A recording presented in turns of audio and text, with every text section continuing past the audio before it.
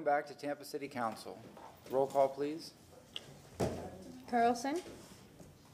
Hurtak. Here. Clendenin. Henderson. Henderson. Present, thank you. Viera. Miranda. Here. Maniscalco. Here. You have a physical quorum. Thank you very much. We're going to start off with item number 65, and we have Ms. Malone. Go ahead, ma'am. Good afternoon, council members. Jennifer Malone with your planning commission staff. Um, we have a, um, a letter from the planning commission and a memorandum in your packet where we kind of have outlined, um, this is about the Tampa Comprehensive Plan update, specifically the future land use assessment, where we kind of outline everything we've been doing since we came to you in September. So since September, if you might recall, we've been working with an independent consultant with Pritchett Steinbeck Group to come up with some recommendations for our future land use assessment. Um, we heard what you said. We think that we are working on addressing all of the, all of those ideas. Um, there will be, we are synthesizing those and we're gonna incorporate everything into draft language. We are gonna be hosting outreach later this year, as we did with the other sections of the comprehensive plan update that have moved forward.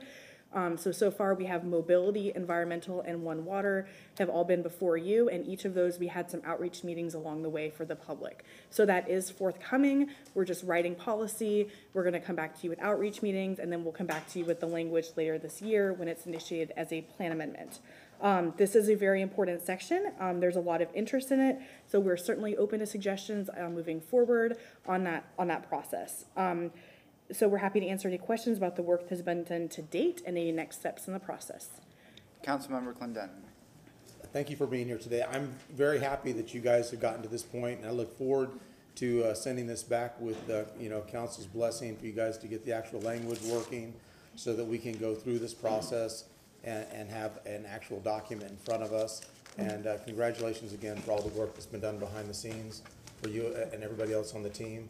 Thank I know it's, it's, it's a, it's a very big project, and it's gonna be very important to the city of Tampa and our growth. Thank you. Thank you very much. Anybody else? Yes, ma'am. Thank you. Uh, I want to echo what Councilmember Carl, um, I'm sorry, we're mixing you up today. The two of you, I don't know why. Um, Councilman Clendenin said, be- uh, I particularly like the table, and I also like the city of Tampa's table. I thought it just made it really clear. And for the public, just knowing that we're going to have more conversations as we put this language together, just want to really thank you. I think it's, uh, um, it's an exciting time to be here. Thanks. Yep, and I was remiss to mention the great work we've been doing with Stephen Benson in his department. Um, you know, we wouldn't be in front of you with these ideas if we didn't have his input and his brain power as well, so. Mr. Shelby? I- Just a curiosity, because I saw you referencing something, um, and I'm looking at OnBase, and I don't see it under this item number on OnBase. And I'm wondering, is it something that you gave to the clerk to be able to upload? No, and I Around thought I 60. checked OnBase and saw that it was in there. It, it Or is was in on there, for this, January. this item was continued from January, so that might be Oh, why. But, So but it was in the backup in January, it should be, still be in the backup for this one. Okay, I'll double check. Thank you.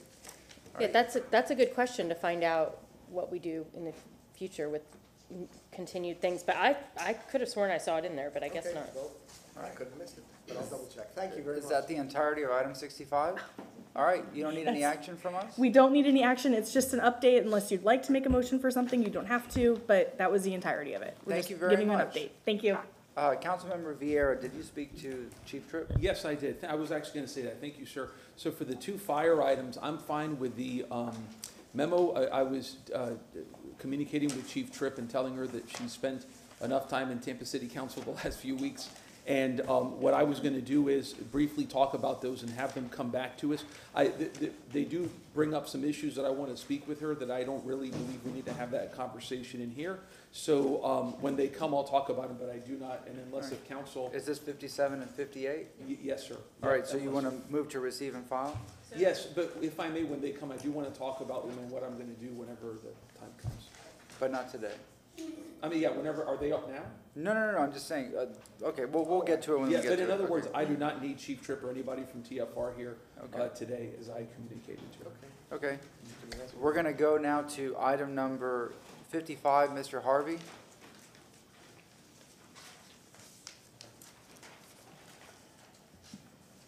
Good afternoon, Council. David Harvey, Legal Department. Item 55 is a resolution uh, authorizing settlement of the Robert DuBoise versus City of Tampa case that's pending in federal court. Um, As we discussed at the closed session on February 1st, the tentative settlement will be a payment of $14 million payable over three installments. Um, For the reasons we discussed at the closed session, um, our office is recommending settlement, but I'm happy to answer any questions. Are we allowed to make any comments after this vote is, uh, is taken, or no? Yeah, I think after the vote, it's fine. Okay. Any council members wish to make this motion Um, or have any questions? I'll I'll make it, or better, I- We have a motion from Councilmember Viera with the second from Councilmember Miranda. Is there any discussion? If not, we can do a, a roll call vote because of the amount. All right, roll call vote for, this is fifty-five, moving the resolution. Hurtak, Yes. Clendenin, Yes. Henderson, Yes. Viera, yes. Miranda. Yes. Maniscalco. Yes, Motion carried unanimously with Carlson being absent at vote. is it appropriate to speak now? If that's council's pleasure, yes. Okay.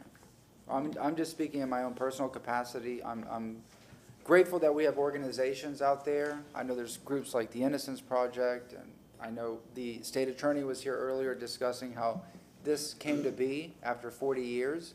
Uh, I'm born in 1984, and this case began in 1983. I mean, that's a lifetime. You know, I'm almost 40 years old. So, you know, this is something that is, um, you, you can't imagine what it's like unless you're in those footsteps. But, you know, without getting into too much detail, I will say, I think justice is, is rightfully served in this capacity. Um, a gentleman was, is given a second chance after much suffering, after much, how do you even put it into words? But at least there was a process where, you know, he can, he can go and live his life, although there are decades that are, that are unfulfilled. You know, what could his life have been?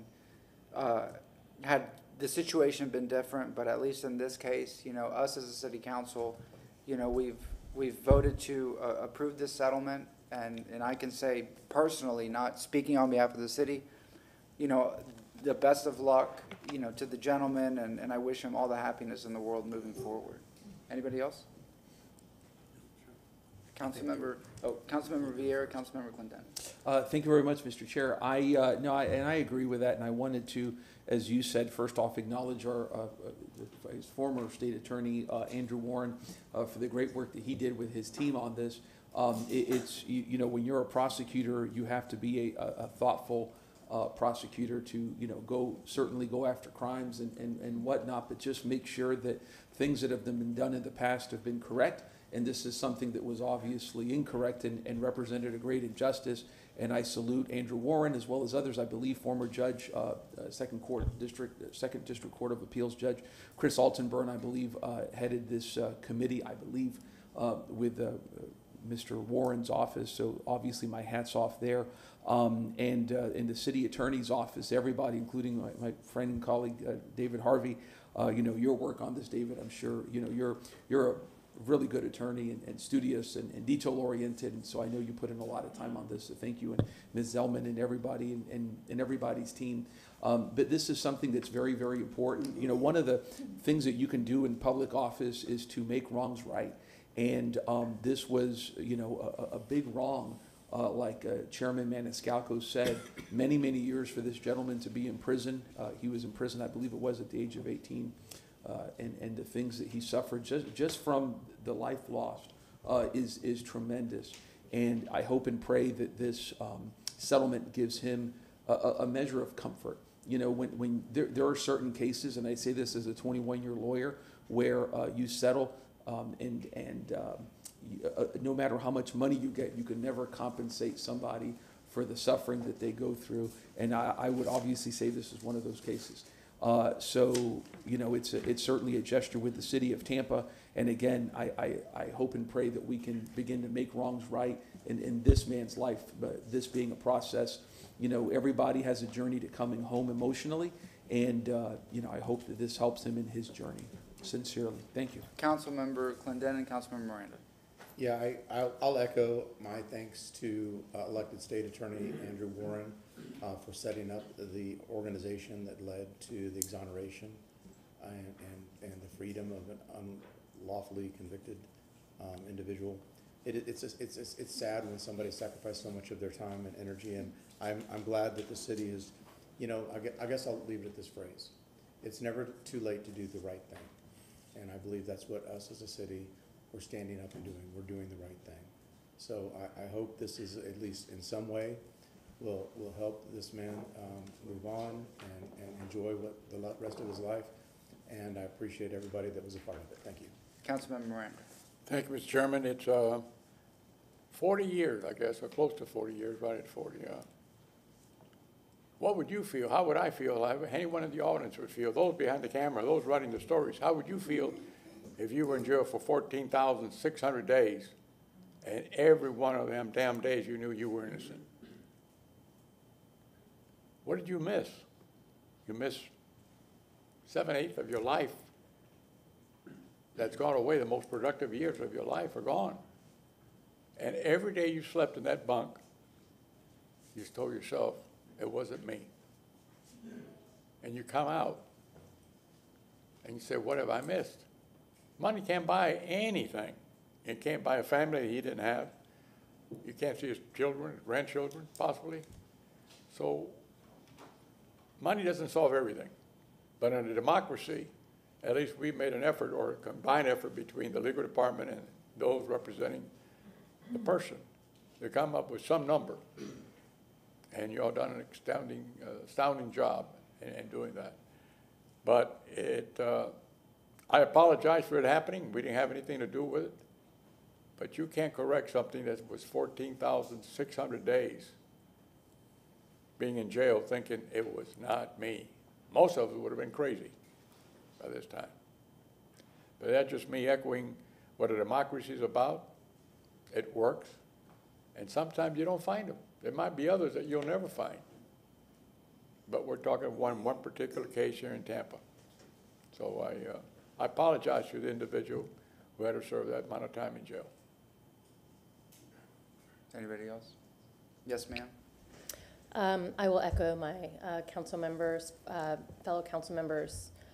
Um, you know, our state attorney created a wonderful program to really relook at some of these cases, and in this case, he found that, or the, the department found that th- there was a wrong done. And I think that having more of these units that work on this is really important. I don't think for any of us, it was a question of a vote. Um, this person has, um, Mr. DuBoise gave majority of his life for this, and this is the least we can do. Yes, ma'am. Thank you, Chair. Mr. DuBoise, I am sorry that this happened to you at such a young age. I am the- close to the same age that you are, so that is uh, my lifetime, and I am sorry, and hopefully this history um, of course correcting and getting it right by providing you with this settlement will give you some mode of happiness for you and your family. Thank you very much. Mr. Harvey, there's also a number fifty-six companion to this. Are you taking this up, or is it a CFO question? Well, Mr. Rogero is here to answer any financial questions. Thank you very much. Mr. O'Hara? Good afternoon, Council. Dennis Rogero, Chief Financial Officer. Yes, this resolution will take care of the obligation in the current fiscal year, fiscal year twenty-four, for the nine million dollars. Uh, you will see the obligations for fiscal year twenty-five and twenty-six as part of budget development later on in this year. Uh, again, they are standing obligations. We want to make sure we're uh, setting them aside in the, uh, the next two fiscal years. Anybody wish to move the resolution? Mr. Councilman Hur- I'll, I'll move the resolution. We have a motion from Councilmember Hurtak to move item fifty-six, second from Councilmember Viera. All in favor? Aye. Aye. Any opposed? Thank you very much. Thank you, Council. Okay. Next up is item number fifty-two. We have a written report from Mr. Michael Perry. However, we have Mr. Bhide on, online, and we received probably endless emails regarding this. Mr. Bhide, yes, sir. Oh, you're muted. Please unmute yourself, sir. Can you not hear me? Yes, we can, now we can. Oh, okay. Uh, Vik Bhide Mobility, uh, here to address item fifty-two related to, uh, uh, certain changes in the budget relative to a FTE, uh, grant in the amount of a little over ten million dollars. Uh, this grant is towards, uh, the South Howard Flooding Relief Project. Uh, and this was, of course, one of two items that was discussed at the last meeting, uh, where Councilman Carlson, in whose district this project is, requested that we meet with neighborhoods uh, that are impacted within the South Howard area uh, to listen to their concerns again, provide as much of an update as we can, uh, and then uh, report back. Uh, and on that note, uh, you, you were correct. There's been a lot of correspondence and emails from the neighborhoods. Uh, we did meet with all of them. We met with Hyde Park, uh, or rather Historic Hyde Park, Hyde Park Preservation, Bayshore Gardens, Parkland Estates, uh, and New Suburb Beautiful. Uh, for the most part, uh, and also the businesses, and we do have a Soho Business Alliance meeting scheduled next week as well. That will be held at the Epicurean. Uh, based on all of our meetings with the communities, uh, we were able to share what updates we could at this time. Uh, I think there were a lot of concerns that were addressed. I'm sure there are additional concerns that the community still have. I know that they have individually shared letters with council also. Uh, the most recent one was an update via email from Parkland Estates clarifying uh, the, the levels at which they would want updates as the design proceeds as well. Uh, New Suburb Beautiful has uh, uh, conveyed their opposition to this project. We understand that. I would like to provide some context to that. And then we'll, you know, move to any questions. Uh, Given New Suburb Beautiful's concerns with the four parallel streets from Morrison all the way down to Watrous, uh, and the concerns with two potential work zones uh, on either end of their neighborhoods, very understandable. Uh, this, this neighborhood also has some of the worst uh, streets in uh, the city uh, based on pavement condition. There's a little bit of a history to it as well. I would like to clarify that New Suburb Beautiful is not within the basin that the project impacts, meaning New Suburb Beautiful drains into a different basin. There will be some work that will happen uh, in New Suburb Beautiful, specifically on Morrison as part of early works. As far as route selection of how the pipes will be routed from uh, Parkland Estates uh, via uh, the neighborhoods onto Howard Avenue. That is part of an assessment that is part of the design process. So this is a design build project. We haven't uh, uh, finalized our negotiations with the design builder yet, and that process hasn't begun. I think we were able to convey that very well to the neighborhoods. They did uh, understand that. They did understand at least, I mean, we, we made our best attempt to mention that we are committed to continuous engagement through this process. We identified our single point of contact, which is Michelle Robinson, a contractor that's working with us uh, at this time, and the process in which she will seamlessly hand over to the design builder and their uh, uh, contractors uh, as far as communications go. And both were uh, available at all of the meetings that we mentioned. Uh, we are also committed to sit down, and this is what uh, we offered New Suburb Beautiful. We shared what I'm sharing with you, that we will not uh, leave it there. We will sit down with the neighborhoods.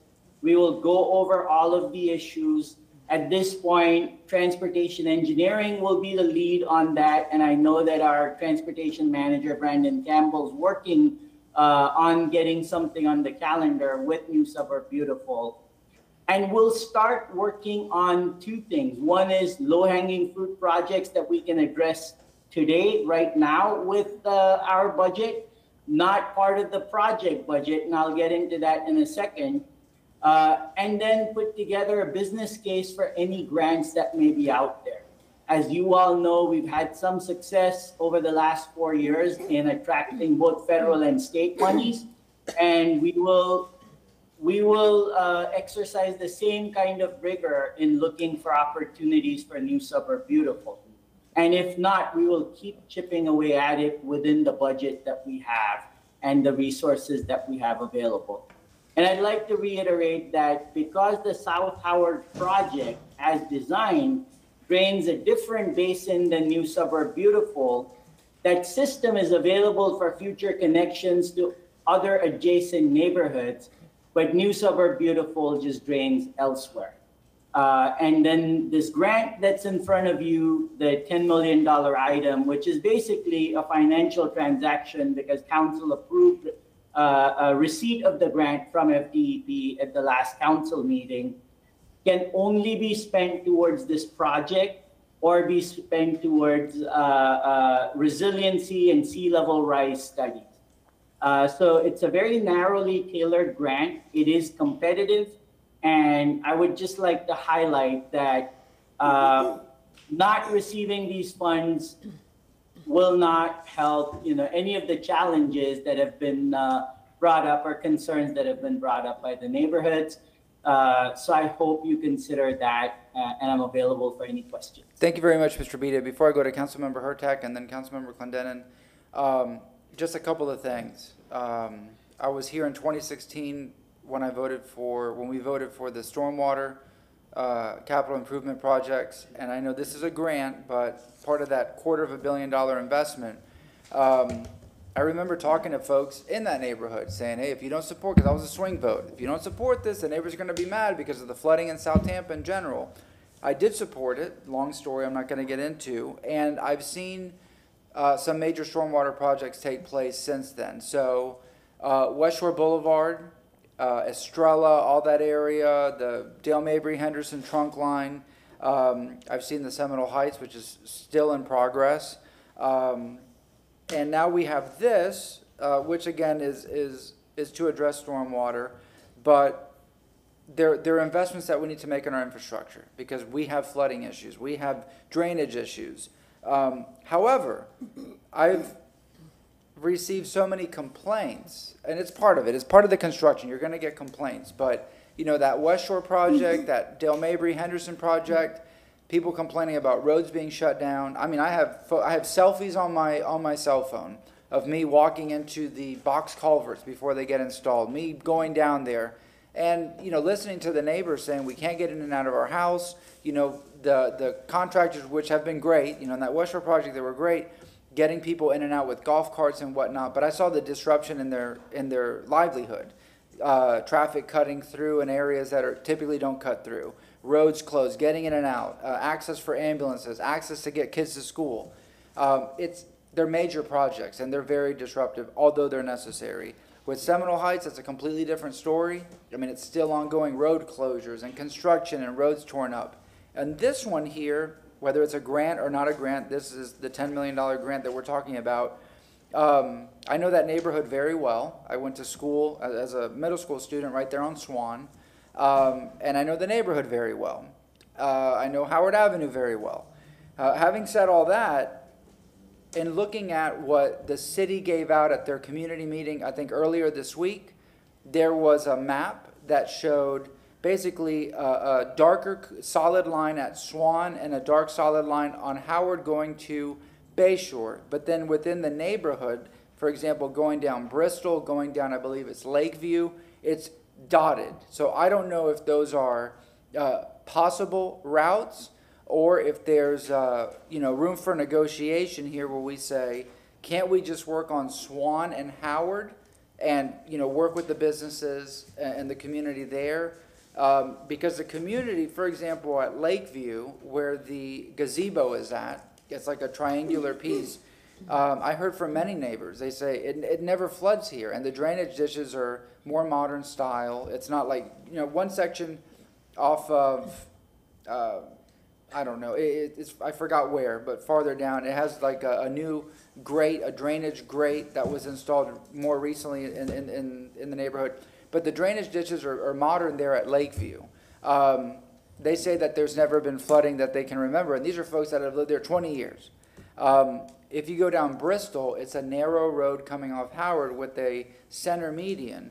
Um, there's a lot of trees there. I, I walked through the neighborhood, again, I'm, I've, I've been there my whole life, you know, visiting and, and going to school and stuff, but I walked through the neighborhood the other day, and a lot of those trees were there when I was a kid. So imagine they're fifty years old, hundred years old, I don't know. My concern is, yes, we can replant what we can replant, but those trees have taken generations to grow. And I know with construction, when you dig up asphalt and when you do these kinds of, you know, when you're putting box culverts and pipes and everything, you're going to damage your root system. And people in those neighborhoods, you know, they, they buy for several reasons. One, because it's a beautiful house. Second, because it's a great neighborhood. Third, the tree canopy. We talk about this all the time, but those beautiful trees, you know, they provide shade, they, they allow for the water to drain, the, you know, the benefits of trees in general. My concern is, can we avoid, can we mitigate having to go into those neighborhoods, going down Bristol, going down Lakeview, and focus on Swann and mm-hmm. Howard, and no complete road closures, because I think we've, we're learning from that, uh, in other stormwater uh, projects. But I think it's more manageable where we have a less, less of an impact on trees and on people, their livelihood, there's kids, I mean, there's just, there's so many reasons.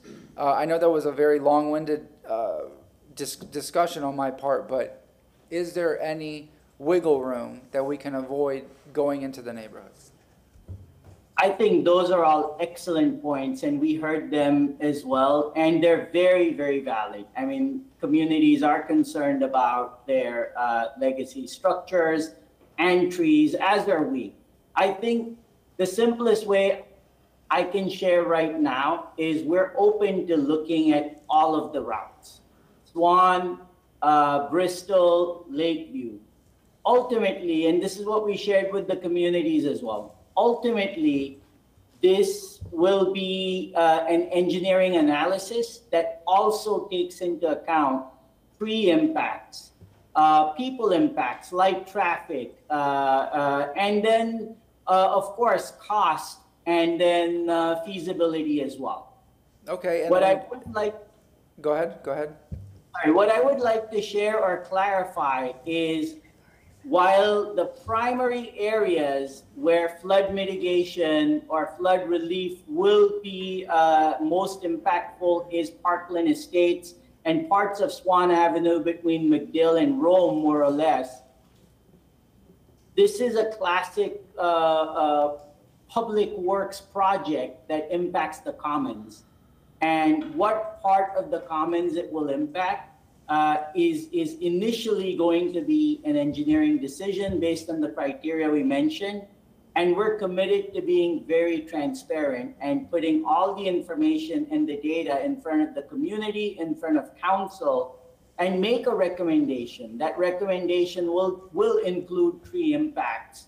Uh, and it will include traffic impacts as well, uh, absolutely. And then on, on the part where, you know, one route will have to be selected, uh, and, and I don't know what that route is, we will do our best to put things back in place or mitigate as much as we can, with the exception of trees, understanding that, you know, uh, planting trees, uh, unless they're appropriate species, on top of the uh, system itself might present maintenance challenges or other challenges in the future. But we'll continue to work with all neighborhoods to focus on planting trees where we can, right species, right place.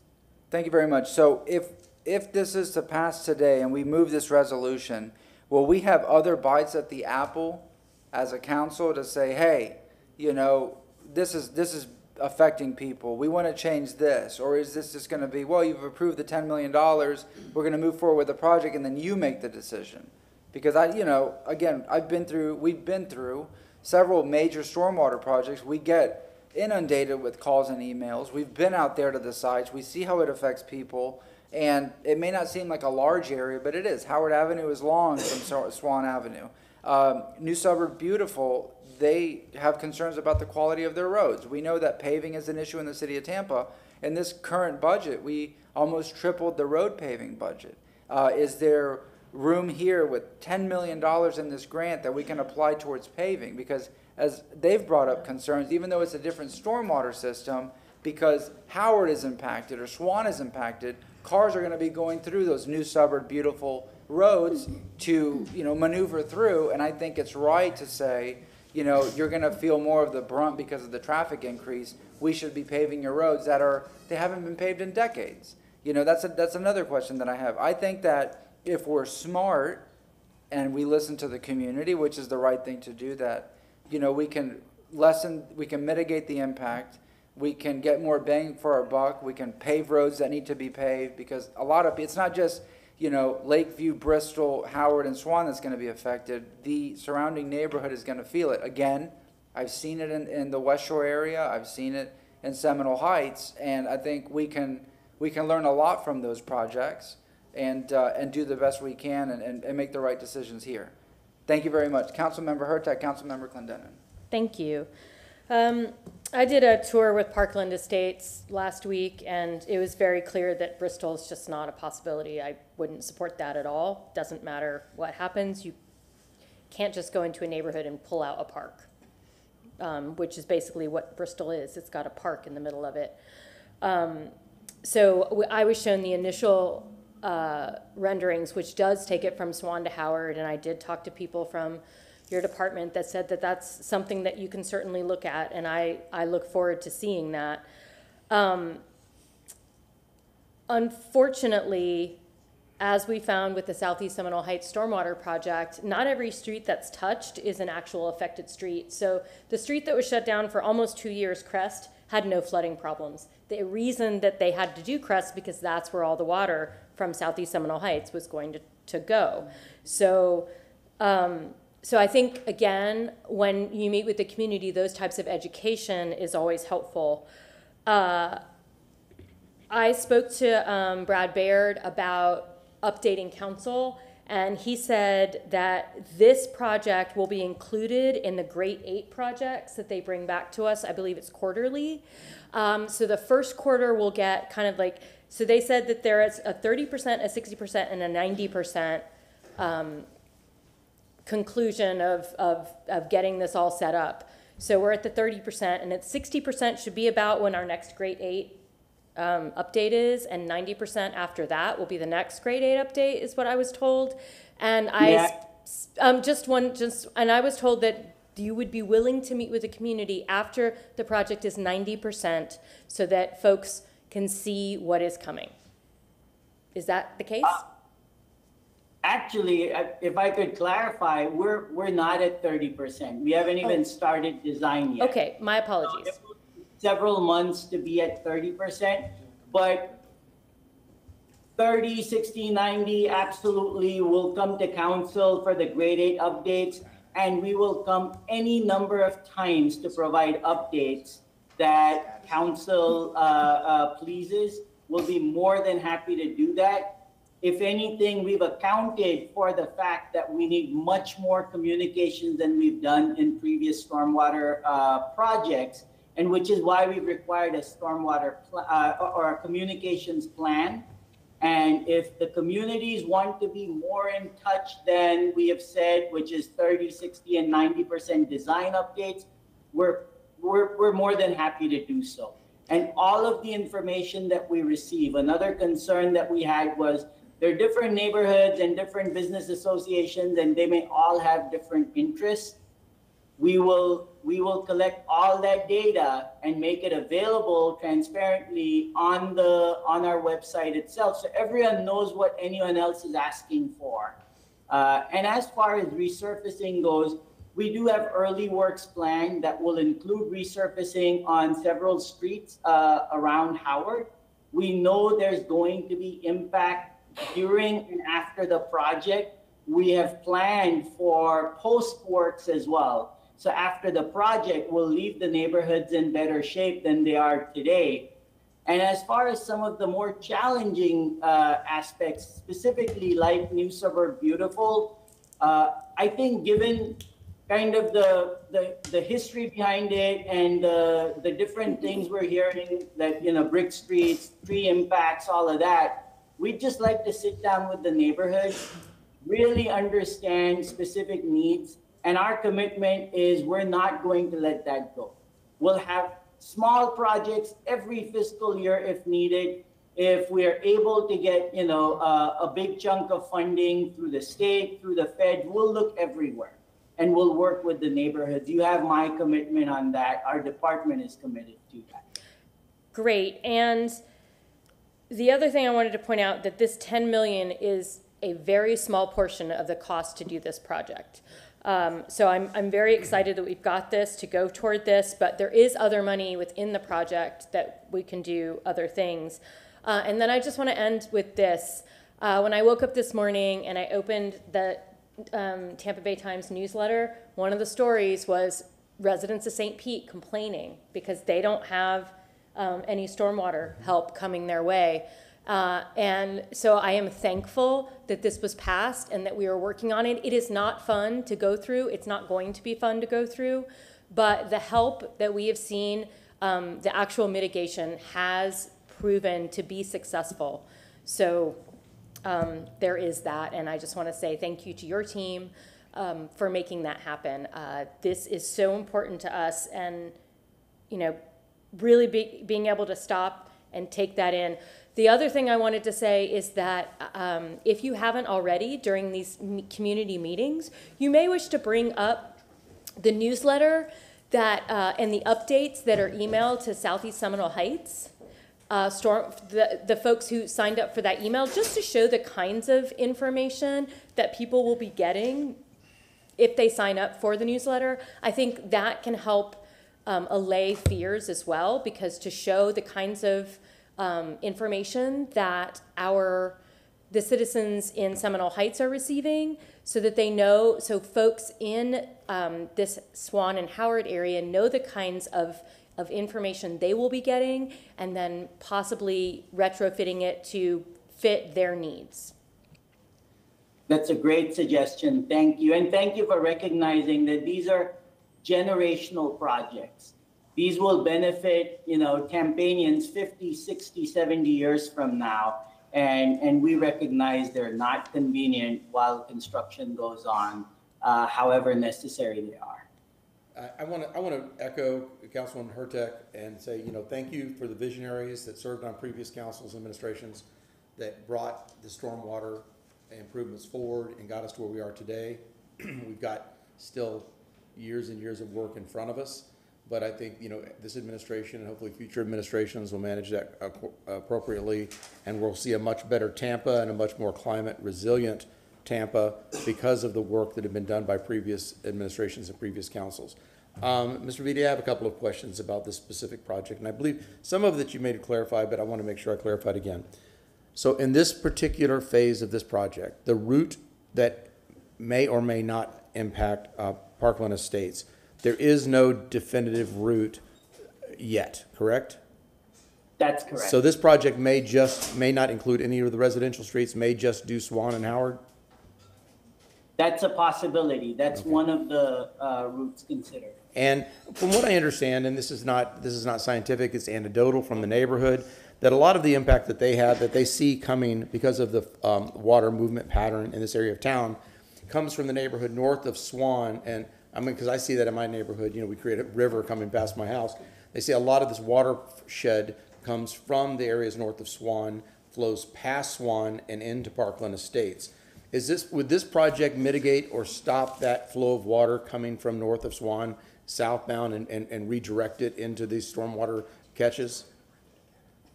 So, to some extent, uh, based on my understanding, what it does for sure is because Parkland Estates, water always flows to the lowest area, of course. Right. Because Parkland Estates is at that lower elevation, we're creating a system that will drain it via Howard into Bayshore. Effectively, what that would mean is that water that flows down all the way from Kennedy, it, it, it more or less sheet flows down, although we've got a system and some ponds by Horatio and Swann and all of that. Right. Uh, that some of that activity will still happen. Water is still going to flow to the lowest spot. However, once it reaches Parkland, it will, or once it reaches Swann, it will enter a system that will drain it to the bay. So that sounds like, that, that sounds like the answer to that question is yes, this will mitigate that north-south flow that is so adversely impacting, especially that one area around the, the park, Fountain Park, uh, that, that is swampy and, and, and definitely is Yes. subjected to flooding. Now, my next, my next thing is, I don't, I won't vote for something that is going to affect Bristol. Um, so I, to me, that seems to be, it has to be off the table. You know, because I'm very familiar with Bristol. I've, I've been on Bristol many, many times in my life, including recently. It is a, uh, it's a street with historic significance. It's got that historic lantern in the middle of it in that little park that they have. The, the, the trees are amazing and any work on Bristol is, is just, just like I believe the arb, the city arborist has ruled out, was it south of Lakeview? Because of the significance of those grand oaks that are along that street, that they're not gonna, that they can't do that. So I think whatever you do has got to rule both that area south of Lakeview and Bristol. It's got to be completely off the table because as this moves forward, I just, I won't support that.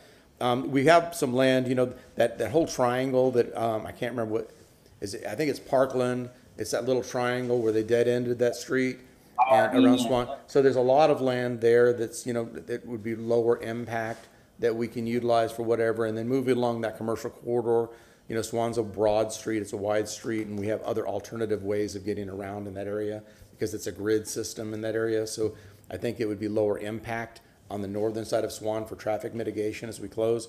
So I highly encourage as we move forward. I know it's design build, and I want to talk to the folks that are in Parkland Estates now and around Howard that this is design build, and you just heard from the head of mobility that nothing is concrete, that there's going to be more citizen involvement as they move forward in these, in progression of this project. And um, you heard my statement that I'll stand in opposition to anything that impacts, that's those significant trees, those grand oaks and um, Bristol Avenue, and as we pursue other options. But the stormwater project is a very important project. Hopefully, we'll be able to find the greatest amount of good for the greatest amount of people, taking those points into account. Uh, I appreciate that. For my friends in New Suburb Beautiful, I've got all your emails about your roads.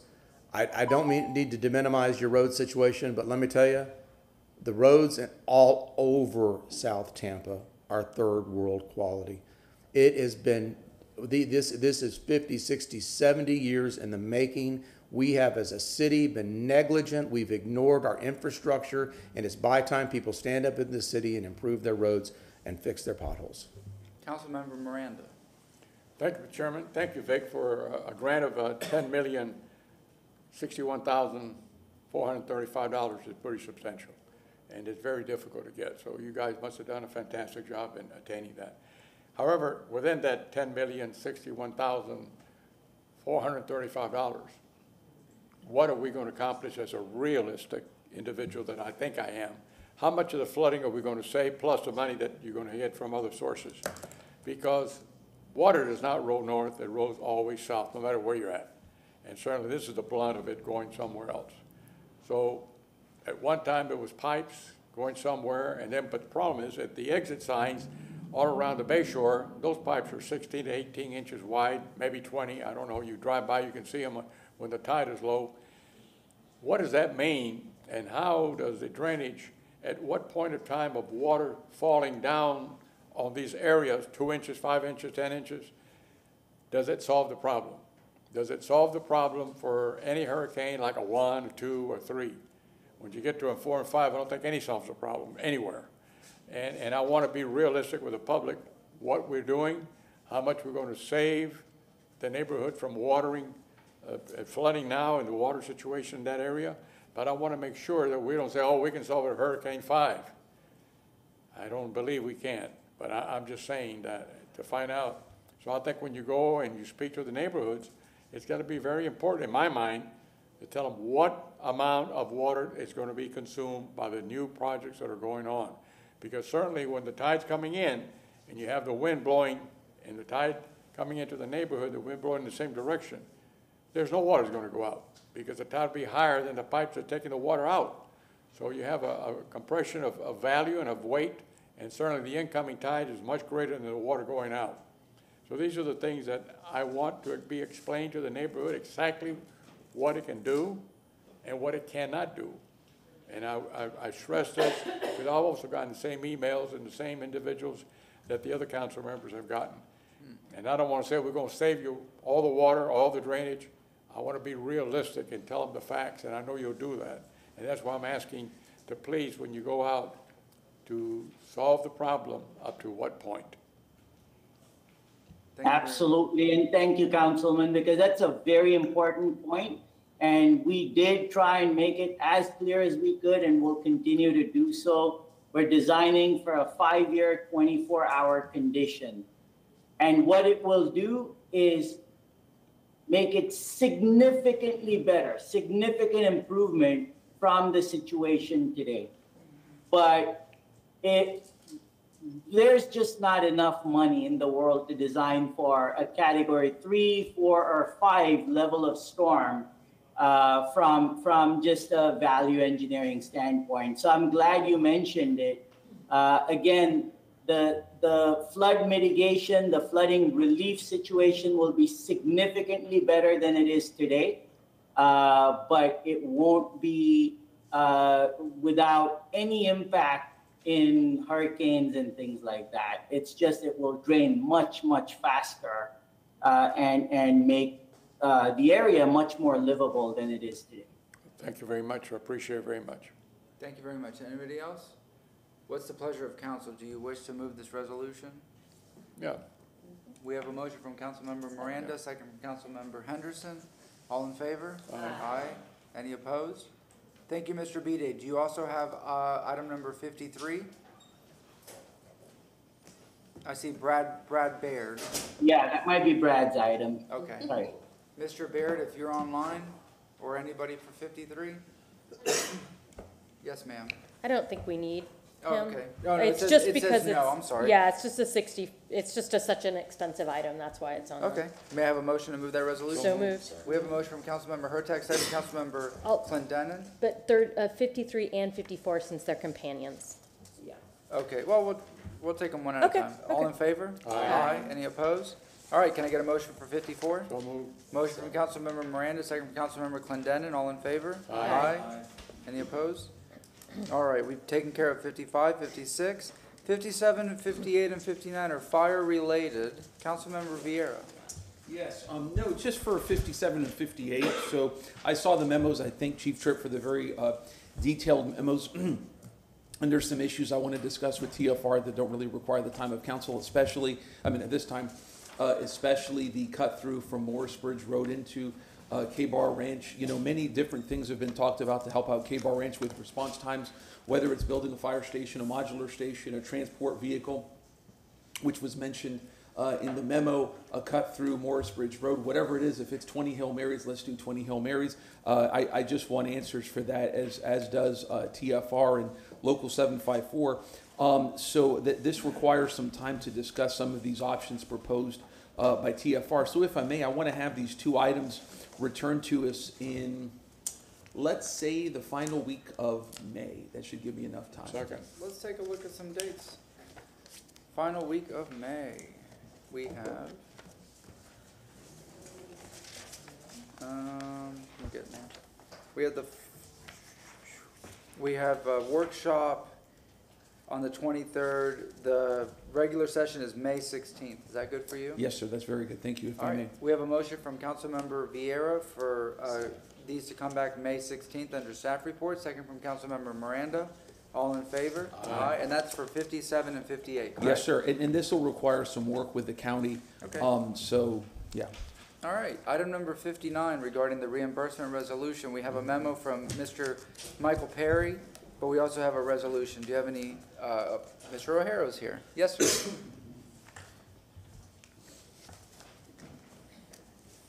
Good afternoon again, Council. Dennis Rogero, Chief Financial Officer. Uh, I am here mostly to answer any questions council may have. This is the revised reimbursement resolution that council requested confining this action to Fire Station 24 and the Fire Maintenance and Supply Facility. Any questions? Mr. Councilmember Viera for Mr. Rogero? Uh, yes, sir, and, and thank you very much, Mr. Rogero, for all your hard work in this. We, we really appreciate that. I wanted to make sure, I, I did a motion to have these come back to us quarterly, right? Didn't I? I believe so. Okay, I did, yeah, then, then I, I, I- I have nothing, just, um, thank you very much, again, for your hard work. This is, uh, a really big step forward for Tampa Fire Rescue and, um, and something really wonderful, so, yeah, it'll be our, um, third fire station, if you include twenty-five, which is medical only, since two thousand eighteen, so that's, uh, good stuff, thank you. Would you like Thank to you, move sir. the resolution? So move if I may. Second. We have a motion from Councilmember Viera, second from Councilmember Hurtak. All in favor? Aye. Any opposed? Thank you very much. Yes, Thank you, ma'am. Council. Um, while I have him here, can I just quickly get sixty-two done? Sure. Um, because this Oh, involves yes, Mr. Rogero as well, and I, I asked for, I did, I said that we didn't need anyone there, but just in case. Here he is. Yes, and he's already here. So basically, this was, um. Mentioned his name three times and he appeared. Yes, it's magic. Uh, but basically, this is one of the things that we talked about during the budget cycle about having uh, the $2 million that we pay for people's credit card fees to pay their bills. And uh, Mr. Rogero and his team have come up with such a great way um, to move forward with this as a percentage. He, he gave us all the background, which I'm sure everybody's looked at. So I just wanted to move ahead and say that I would, I think we should move forward with the two percent that the city will, will use, um, that they themselves will administer. Yes, ma'am. Um, I don't, that's why I didn't think we need a lot of conversation, but just, Do you- so That's direction. a formal motion to just. yeah, give I staff make a direction? motion that we just go ahead and follow the staff's suggestions for the two percent, um, fee. All right, we have a motion from Councilmember Hurtak, second from Councilmember Viera. All in favor? Aye. Any opposed? All right. Thank you, Council. Looking forward to it. We will Thanks for your help proceed. with that. Yes, ma'am. All Thank you. right, we have um, item number 61. Ms. Feeley has a PowerPoint that has been previously submitted.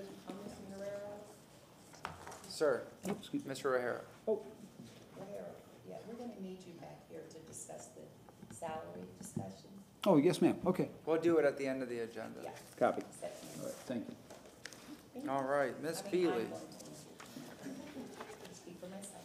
Good afternoon, Council. Abbye Feeley, um, Deputy Administrator, Development and Growth Management for the city. This is a continued item on the Ybor parking. Um, Thank you very much. Just wanted, I know you heard under public comment this morning, um, some feedback and, and also, um, in chambers this morning. I'm before you today to provide a staff report on any rec, on recommended changes to improve the safety and security of parking lots um, in Ybor, specifically concerning the personnel requirements and an explanation of enforcement. With me today, I have Keith O'Connor, our Director of Code Enforcement.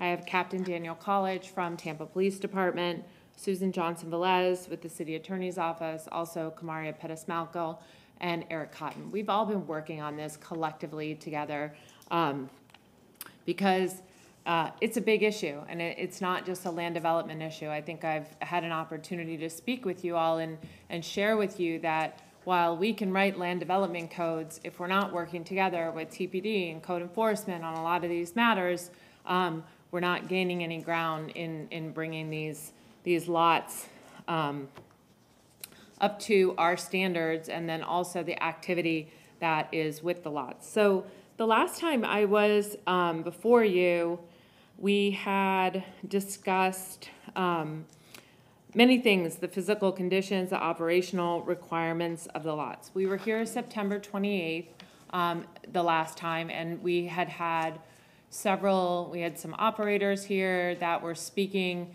um, about what was going on, them being informed. We had issued a letter um, to the operators letting them know that they needed to come into compliance, and we were, gave them a 60-day grace period to do that, and we began enforcement on October 1st. And uh, Keith's going to give you an update on some of those numbers and what's been going on. We did hold two additional community meetings, one in Ybor, one at Hanna, um, to go through some of the concepts that we had talked about, because when we came on the 28th, we talked to you a little bit about changing the personnel requirement. Um, and making that either a licensed security officer. We had some language at that time that had come from um, the legal department on um, what that officer would be as licensed by the state of Florida.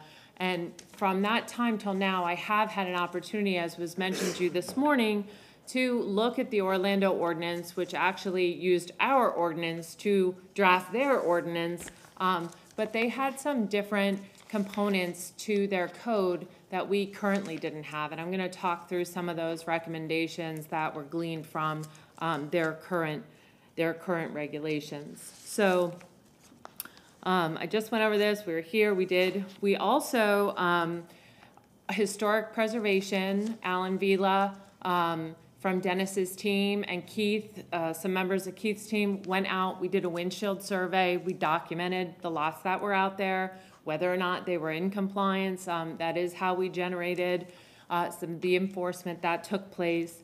Um, we also did a preliminary analysis of the YC five and YC six districts. These are the districts that allow principal parking by right as a permitted use. Um, currently, there are only six vacant parcels in those two districts. So one of the things that we kept hearing in the public, we don't want any more lots, right? Ybor is becoming more residential. We are seeing infill of houses. We want infill of houses. We don't want infill of lots. And um, so we looked at what would that mean if we said no more lots? Who would that impact if we took that that use away? And it is right now only six vacant lots, which, as you know, in the district, it's very difficult to demolish a house without getting the approval uh, of the barrio um, to then become a parking lot. But really, we are continuing to try to look at where does our code fall short? What could we do? Um, so I have some more information on that as well, and then the concepts for your consideration. As I mentioned to you, it, this is a very multifaceted um, matter. Not only is it a land use matter, an enforcement matter, we're in one of five you know, landmark districts in the state. So we're trying to be very sensitive to how we're approaching this. And while it's taken some time, I just don't want to provide you with a haphazard, you know, recommendation that I don't think really is balanced in respect to um, the vision, the vision for the district. So here's a map. This is based off of the inventory um, that we we conducted, and you'll see the city's lots on here are shown in orange, HCC is yellow, the private lots are shown in blue, and then we have um, the private paid lots uh, shown in pink. So you can see predominantly that they're located, you know, along Fifth, Sixth, um, and Eighth. I'm going to turn it over to Keith to give you an update on the enforcement and then we will um, continue on. Alrighty. Thank you, Abbye. Uh, Keith O'Connor, Director of Neighborhood Enhancement.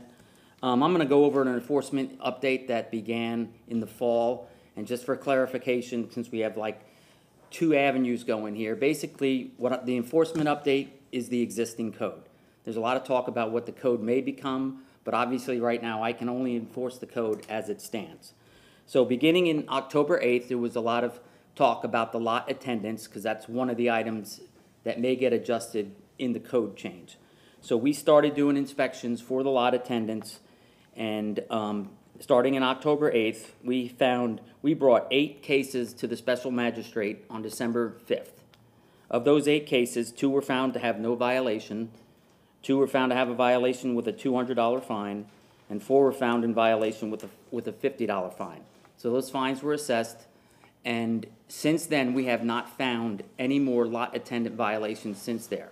And we have been out inspecting the lots every weekend since November 1st. So um, just for clarification, when you hear a lot about that, as soon as they knew we were coming, that, that seemed to take care of itself. In addition to that, we were doing bar inspections, about 50 bars each weekend for compliance with the rest of the code um, with TPD, with the fire marshal's office. We went out in a task force type situation, doing that continually each weekend. Now that's going to be tapering off now that we got through the holiday season, the parade seasons, but we still will be going out there, just not as intensely. Um, the daytime inspections, those inspections are ones for basically the rest of the code.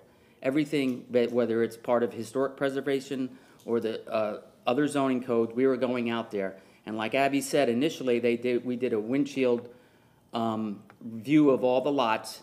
We found about 30 that had what we thought were violations. Um, And after, once we started reviewing them, we realized that this was gonna be a very labor-intensive, because we are basically checking every part of the lot to make sure it's in compliance. So we initially started it, and you'll see here that there was twenty-four cases opened, four cases were closed, and we're, and now we're, we've came up with another mini like task force where we are going through the code case by case. And it is labor intensive. I'm not gonna sit here and tell you it's not taking a long time, but it doesn't mean we're not doing it. We are doing it case by case by case.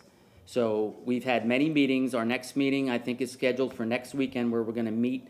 They've already looked at all of these thirty lots, and we're gonna come together as a team. Remember, it's zoning, it's historic preservation, it's code enforcement. Find out what the violations are and the remedy. I think I talked to Alan earlier today. He's already in contact with three of the main owners of the lots to get head, a head start on what they need to get their lots into compliance. A lot of it involves research. Some of these lots have been in place since the eighties. So when they were permitted to begin with, they've changed. So we're trying to get them back. So that's, that's an update on the enforcement for now. And like I said, I don't want anyone to think that, I know it's a slow, pro- slow process, but we are working towards getting these lots into compliance, which is the goal of code enforcement. Councilmember Pertine. Just a quick question. Okay. So you mean, just to, because a lot of the neighbors are concerned, or the emails that we've gotten have been about, you know, it's still a dirt lot, it's still this, it's Right. still that with the lighting. So this is what you're talking about when you're Yes. talking about bringing them into compliance? And that it's, it looks like just from, and this I know is an, is an older, this was for January twenty-fifth, so Yeah. things might have changed, but right now we have twenty open cases, if not more, where we're working through it with the owner of the lot, Yeah, correct? there- I mean, there's at least thirty that we can see have some, some type of violation. And then Thank we're gonna come up with, with a plan to get to those. But like you said, they- it does take time. We started out, like, if, if we get a complaint on one particular lot, the fence is down, we go out, okay, the fence is down, we write it up. We didn't check to make sure they had enough spaces, or whether it was permitted twenty years ago for this many, we checked on the fence. So now we've been asked to check everything, so we had to kind of go back, and we don't want to miss anything. And I know the, the neighborhood association is very involved, and we're trying to get to it, and it's become a long arduous process that is still ongoing. Okay, I just wanted to make sure that the public understood that. Thank you. Okay, you're welcome. Thank you very much, sir. You're Yes, welcome. ma'am. And just, um, I also checked with my team, so anybody who is coming in for a permit or a formal determination, those go through the barrio. So it goes into Dennis's shop, Dennis and Ron, um, and then all those lots get a certificate of appropriateness where they're checked to see if they're complying with the code. So if they did not have a permit, and some of them did not, they either need to seek that permit, or they need to seek a formal determination from Eric, or they have to enter into another process. Um, we have four major operators, and, um, our team has actively been engaged with those four. Um, now, some still have not taken any formal action, but if the code enforcement action is running, just because they're coming in to speak to us, that's not going away. Those processes are, are continuing. As Keith said, the objective is compliance. Um, So concepts for consideration, I'll go through these. Um, This is just an overview of the ones that I'm going to present. Um, So we'll jump right in. The first one is um, parking off-street principle. That's how those lots get created. Right now, you'll see in the yellow, they are permitted in those two districts, YC five and YC six. That is a principal parking lot. The principal use of the property is parking. Um, And those there, that's where I mentioned to you, currently within those two districts, there are only six vacant parcels. So if you were to say, we're not gonna allow that anymore, um, that would impact six. The other thing, the other point that was brought to you by Mr. Michelini a few weeks ago was it would make the existing uses non-conforming.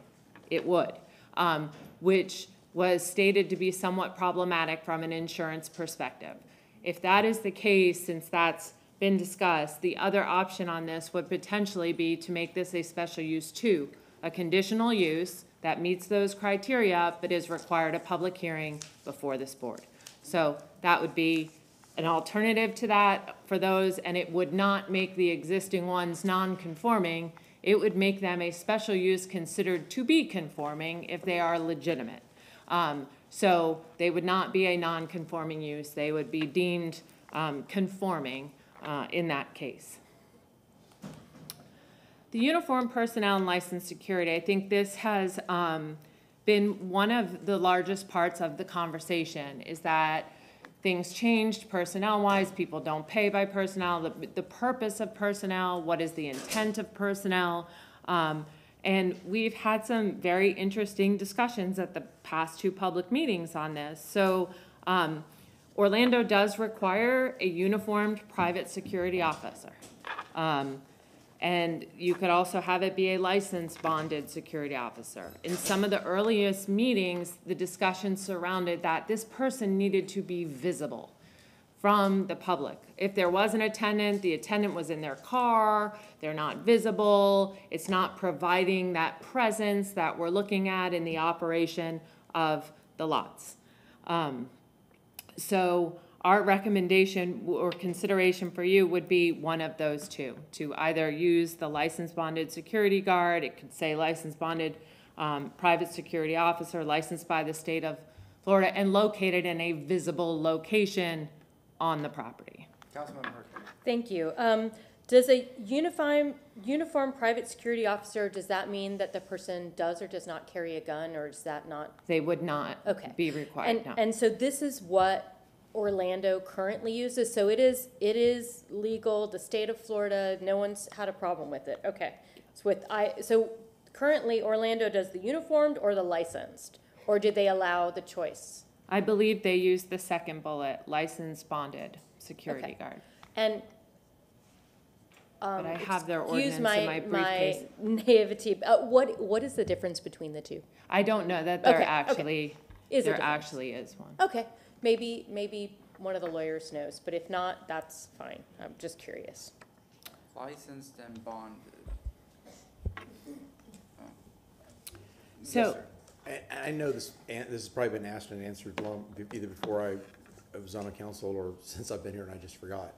Um, how does, how is this applied across the various types of parking lots? Like, you know, Columbia Restaurant, all these new restaurants have big, big parking lots. The city has big parking lots. Is this applied equally across a parking lots of parking lots of parking lot? Or is this just specifically to privately held parking lots? Like that are. Well, the specific- Columbia would be a privately Well, held, but but is it it- is not a paid lot. These are for lots that receive payment.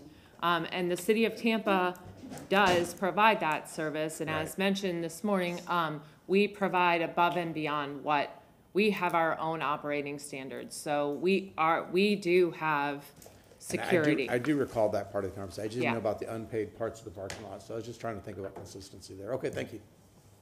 Yes, Um, go and, and for the Orlando ordinance, just to clarify that, their, their standards are for when a lot is providing parking after ten PM. So if you are providing parking after ten PM, these conditions apply to you.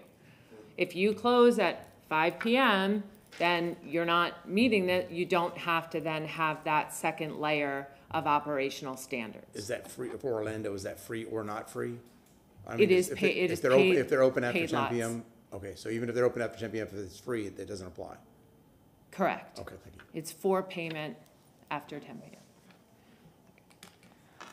Um, signage, this was one thing, um, that came to our attention through discussions with the public. Right now, I have the current code requirements on there.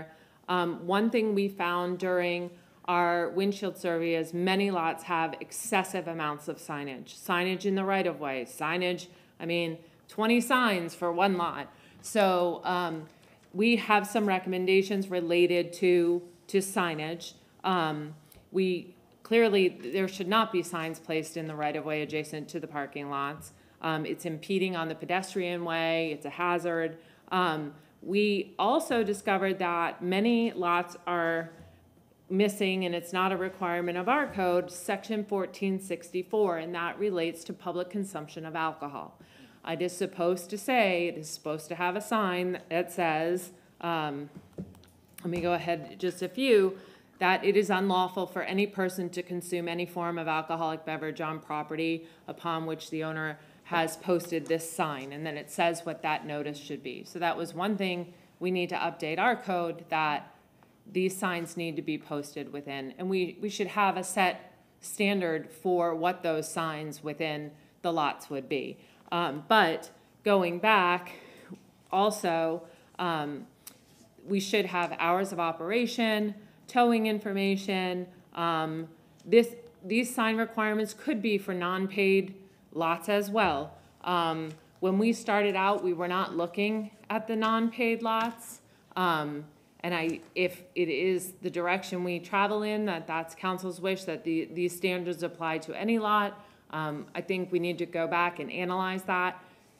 Getting all of this together was a very large undertaking, so I didn't want to just start expanding out into other areas. I wanted to try to finish this part for you first, and then we could go on to the next um, steps. So um, also, additional information, if lots, if we require lots to physically close, and I'm going to talk about that coming up, then they would have a a notification on there, if they're not in operation, who you would contact um, to potentially retrieve your car.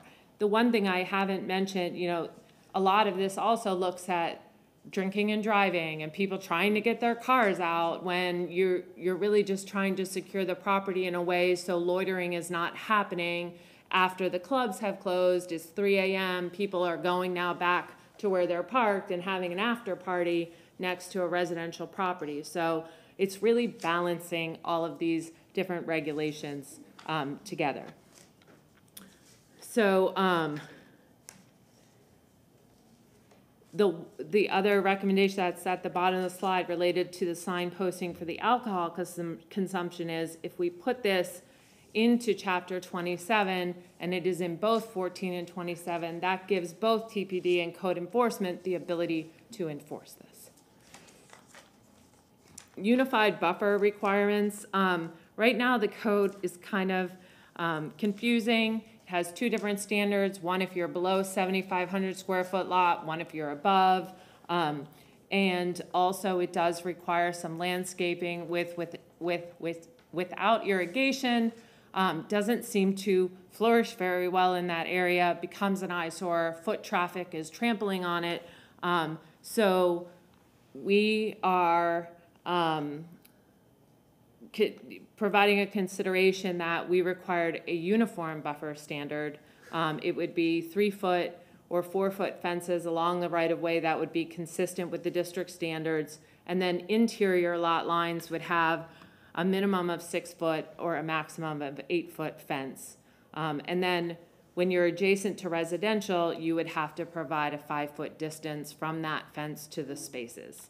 Um, Right now, we do that, um, it's a wall with fifteen feet, and some of these are very small lots, so you would never get spaces at all. So we were trying to find a balance that would be, um, provide that buffering, but also provide less maintenance on the lot where it, it's being maintained and not, not an eyesore. So, um, all fencing would be required to meet the site visibility, and then if alternatives were requested, those would go through Dennis Fernandez um, for consideration to be consistent with the district. The annual operations and security plan, this would be a new requirement. This is what Orlando does use. Each year, the operator comes in and says, I intend to operate this lot this year, and here is how I am meeting your code.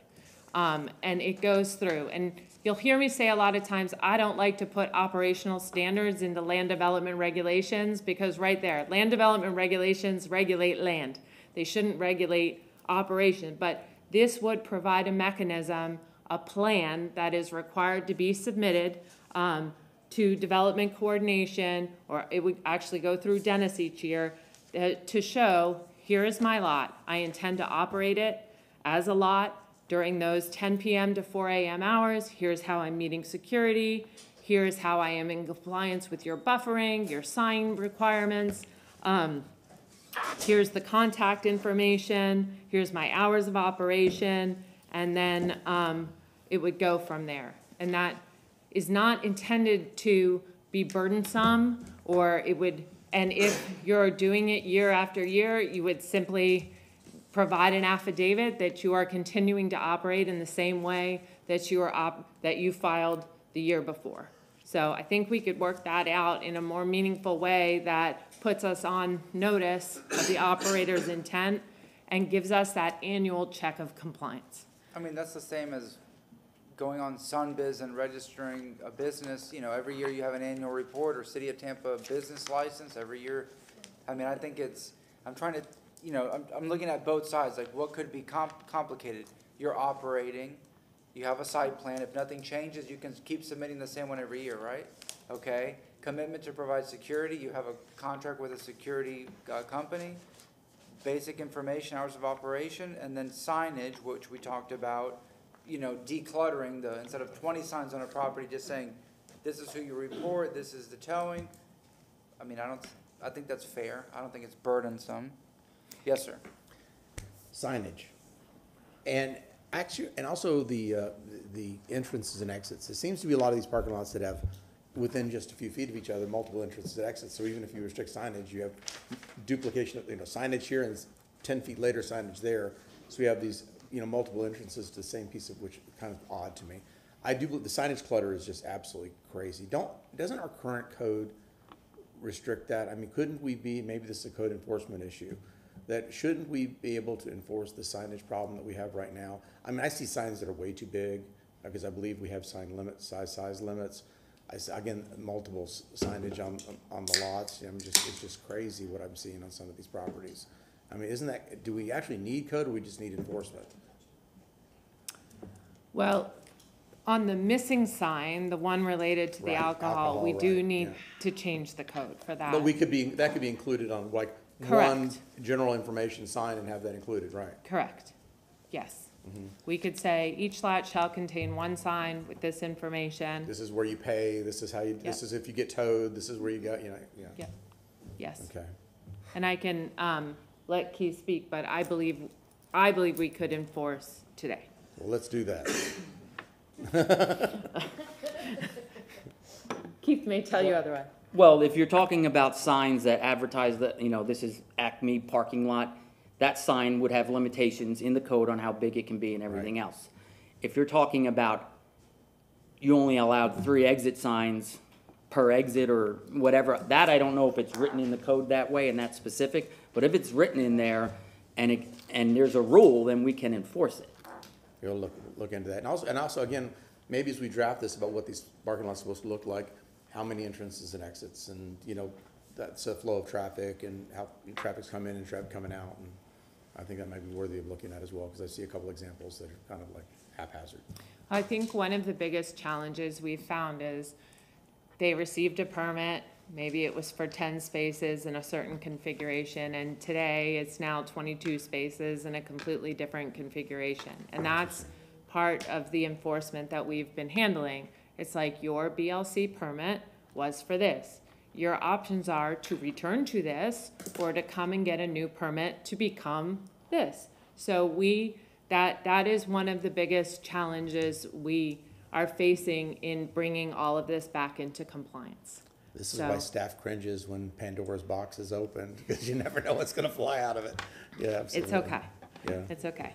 Um, implications and next steps, um, you know, if we proceed with removing the principal part at, principal parking as a permitted use, it would, we talked about this, make the lots non-conforming. They could continue operation, but if we went to the special use route, I think that would negate some of the insurance issues that have been raised by some of the operators, but still allow for lots to be elevated to a different level. They're not permitted anymore, they're conditional uses, they have a set of standards, and they're required a public hearing before this board.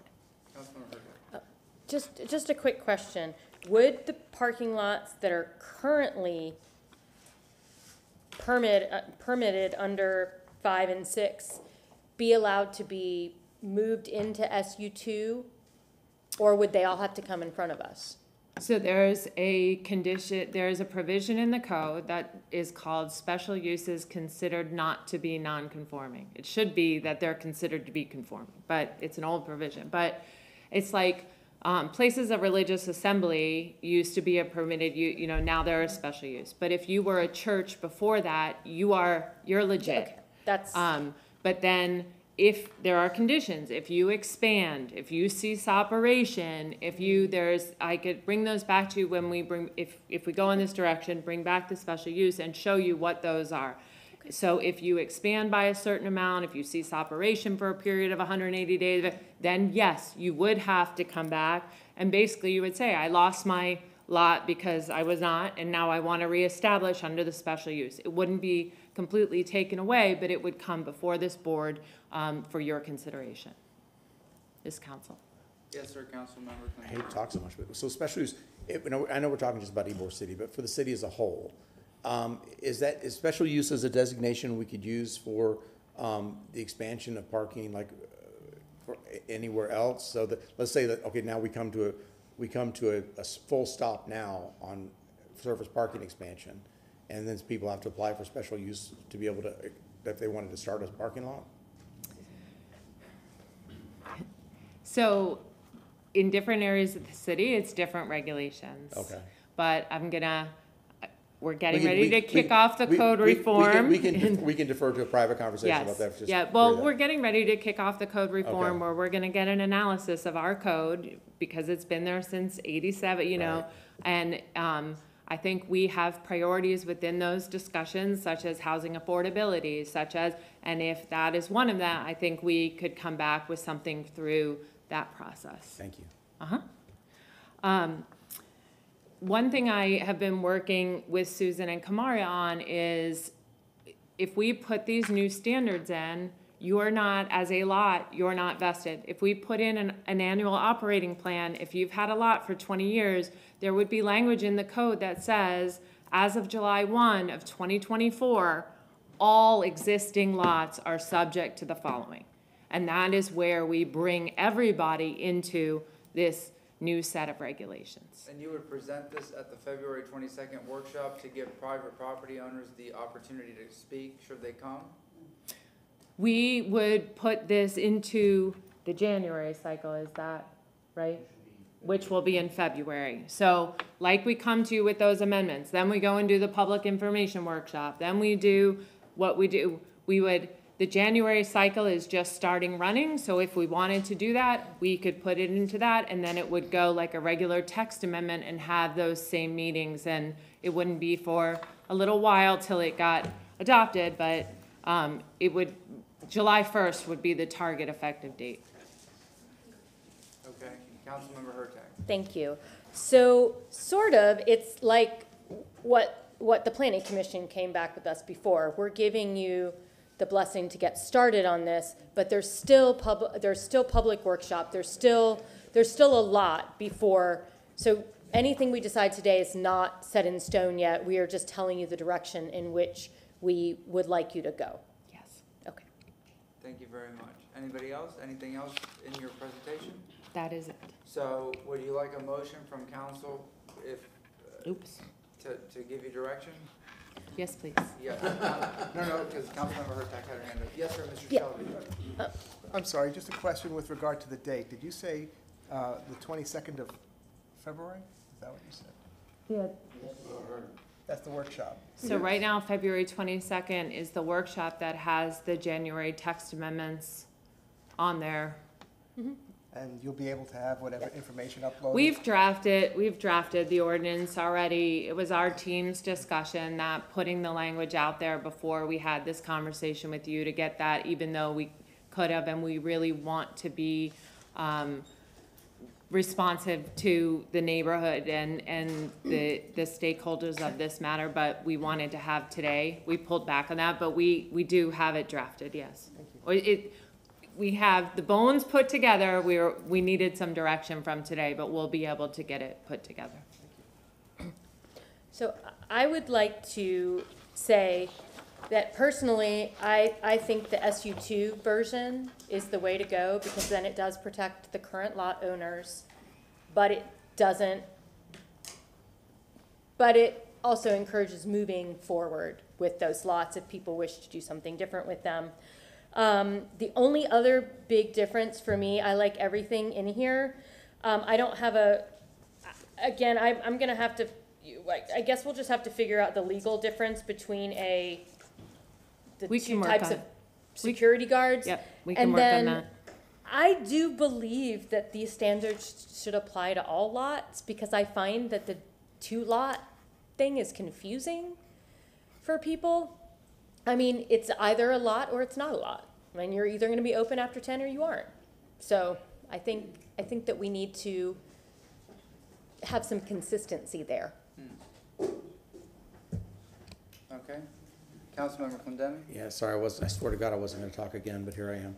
Um, I, my, my gut tells me the same thing. I would like consistency, because, you know, again, equal protection, you know, a lot's a lot's a lot. And it just makes sense to me that, that, that if we're, as far as confusion, that we have, we have one standard. I mean, honestly, I'd like to have one standard across the entire city, and not just specific for one re, one area. So as we look forward to what you're talking about for future conversations. I really appreciate the fact that you're continuing to work with both the neighborhood and the, the property owners to make sure, because everybody's, everybody's got an interest in this. And I think it's important that we do that. Um, but I do believe some of this, these compliance issues with signage and entrances and, you know, I'll- think we have to get that in, in, in, in line with where we want as far as the direction of the city. But I appreciate the work that staff has done this. I know this has been burdensome. Uh, it's sensitive, it's, it's difficult, it's difficult with the community. So I really appreciate what you, what you and everybody else has done as part of this. So, I mean, I'd like to say, I don't know what you want as far as, us, other than just a go forward and conquer. Um, and you just, you've heard the comments, but I'd say, you know, go forward and move forward with this and bring us back a document and let us vote on that document. So let me just ask on the non-paid versus paid.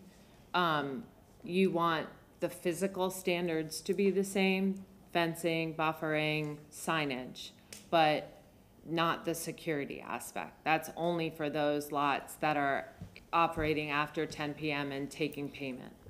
Cause you, I mean, if the Columbia restaurant closes at eleven, for example, their lot really shouldn't, I mean, isn't being used. They have accessory parking, you know, there's different types of parking. When parking is adjacent directly to, then it's not principal parking. Principal parking is when the lot is only parking and it's not associated with any other use. It is providing parking. I kinda like to hear the sentiment of other council members on this, but, yeah. Yeah. Gentlemen, lady, ma'am? Anybody? I, I just, you know, I'm listening to the presentation and I want to be supportive of, of staff and all the hard work that you've done. I understand it. Um, the, the, um, private parking like the Columbia, um, requiring that they have the same signage, I think is reasonable, so it won't be confusing.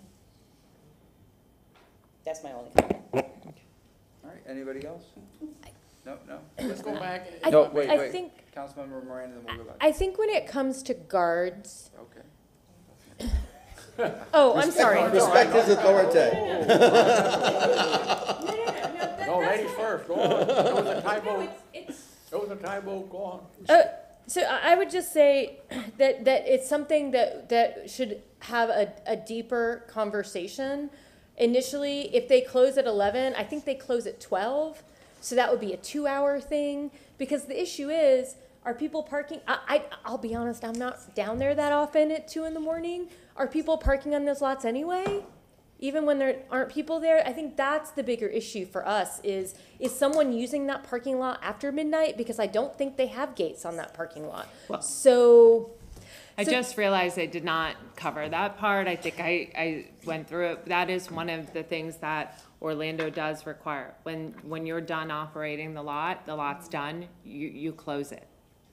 You physically place, and, and we're having that conversation with Dennis because it needs to be historically appropriate, right?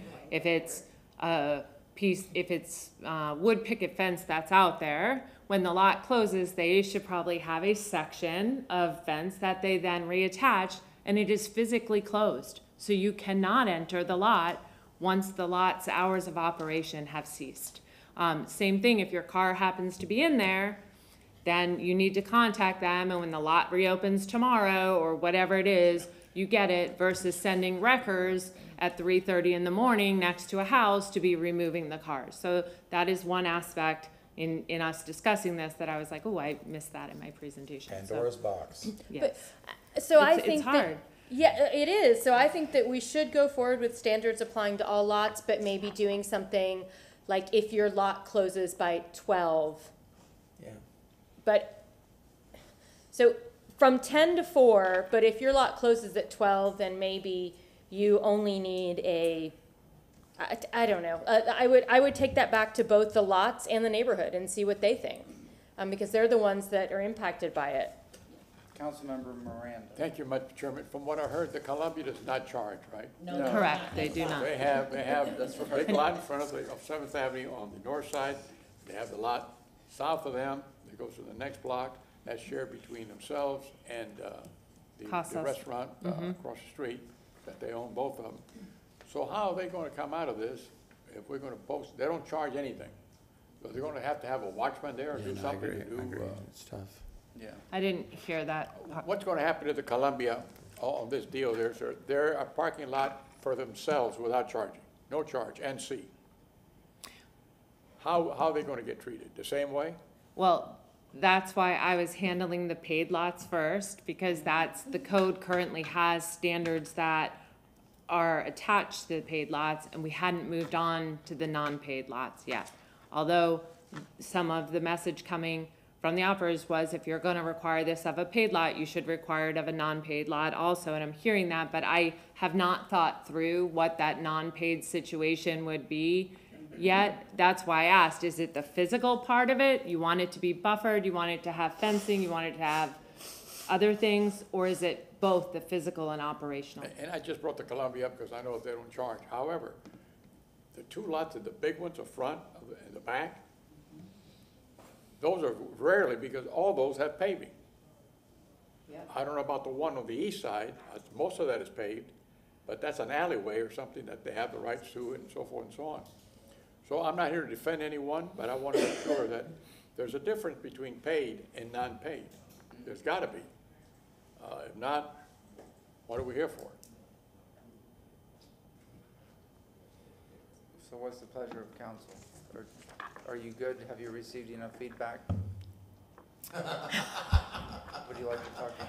Do you need a motion for? Um, for- I, I would like to move forward with the paid standards at this time for that I make, next I make a cycle. motion to ask staff to move forward on the paid standards, and we can revisit this, because one of the other things I would like to re, uh, to talk about is how, how we, through our code, incentivize development on this, on this parking. So, you know, if we could do bonuses and things that we could do to incentivize, uh, owners of these surface parking lots to, for development in their properties and do, do what we can do. So I think that's all for future discussion. I would say at this point, I would motion for, con- uh, for this council to approve, staff move forward on paid, um, parking lots and the others to be continued. Is there a second? Is there a second? Second from Councilmember Hurtak and Mr. Shelby. And does this include adding something to the, the 22nd of February workshop? It's not already set, it's, not- or it's included in this, it's, it's included in this? Eric Cotton, Development Coordination. Um, staff is bringing on the twenty-second forward the January cycle. And this is So- included in that? So there's information already that has, I think, been forwarded to council, the memo's been signed and such. This would be an addi- an addendum to that, because that was not part of that original So it wasn't- agenda, so we can add that in, Yeah. that shouldn't be a problem. Is that part of the motion then? Is that all right? We, do- we don't really need a motion. Well, They to just add- So it need, is said, so it is written. yeah. We have a motion, just for, just for clarity's sake, from Councilmember Clendenin and Councilmember Hurtak. And then what I would suggest, just so we don't lose sight of it, is that for the next cycle, for the July cycle, we start considering the rest of the lots. Cause I just don't want that to be, um, forgotten. And I also, because I know it's a bone of contention in, with some of the owners and the neighborhood too. So let's, let's say that we're going to try to get that for the July cycle. Is that fair? Yes, I just, like I did say, the code reform is also gonna kick off, so at some time, I want us really, cause you're gonna be part of that, to collectively focus on working on that reform with Eric and I and not have parallel traveling paths of text amendments, because our goal is to have a cohesive update to the plan, to the code. Yeah. So, yes, yes, I, I will not let it go, and I know my partners in this will not let it go either. All in favor? Aye.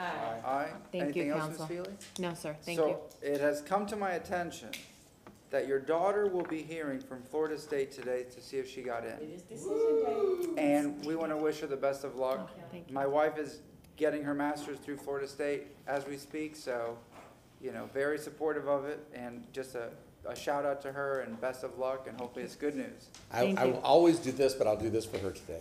Well, her number one choice is UF, Oh, okay, um, but so- that's not till next Friday. But I, I'm a Nole, so she's, yes, but we're very excited. She's waiting for me to come home now to go click the button, so thank you very much. Thank You you know very what? much. And just so I can add this, you should pick up the book, Where You Go Is Not Who You Will Be.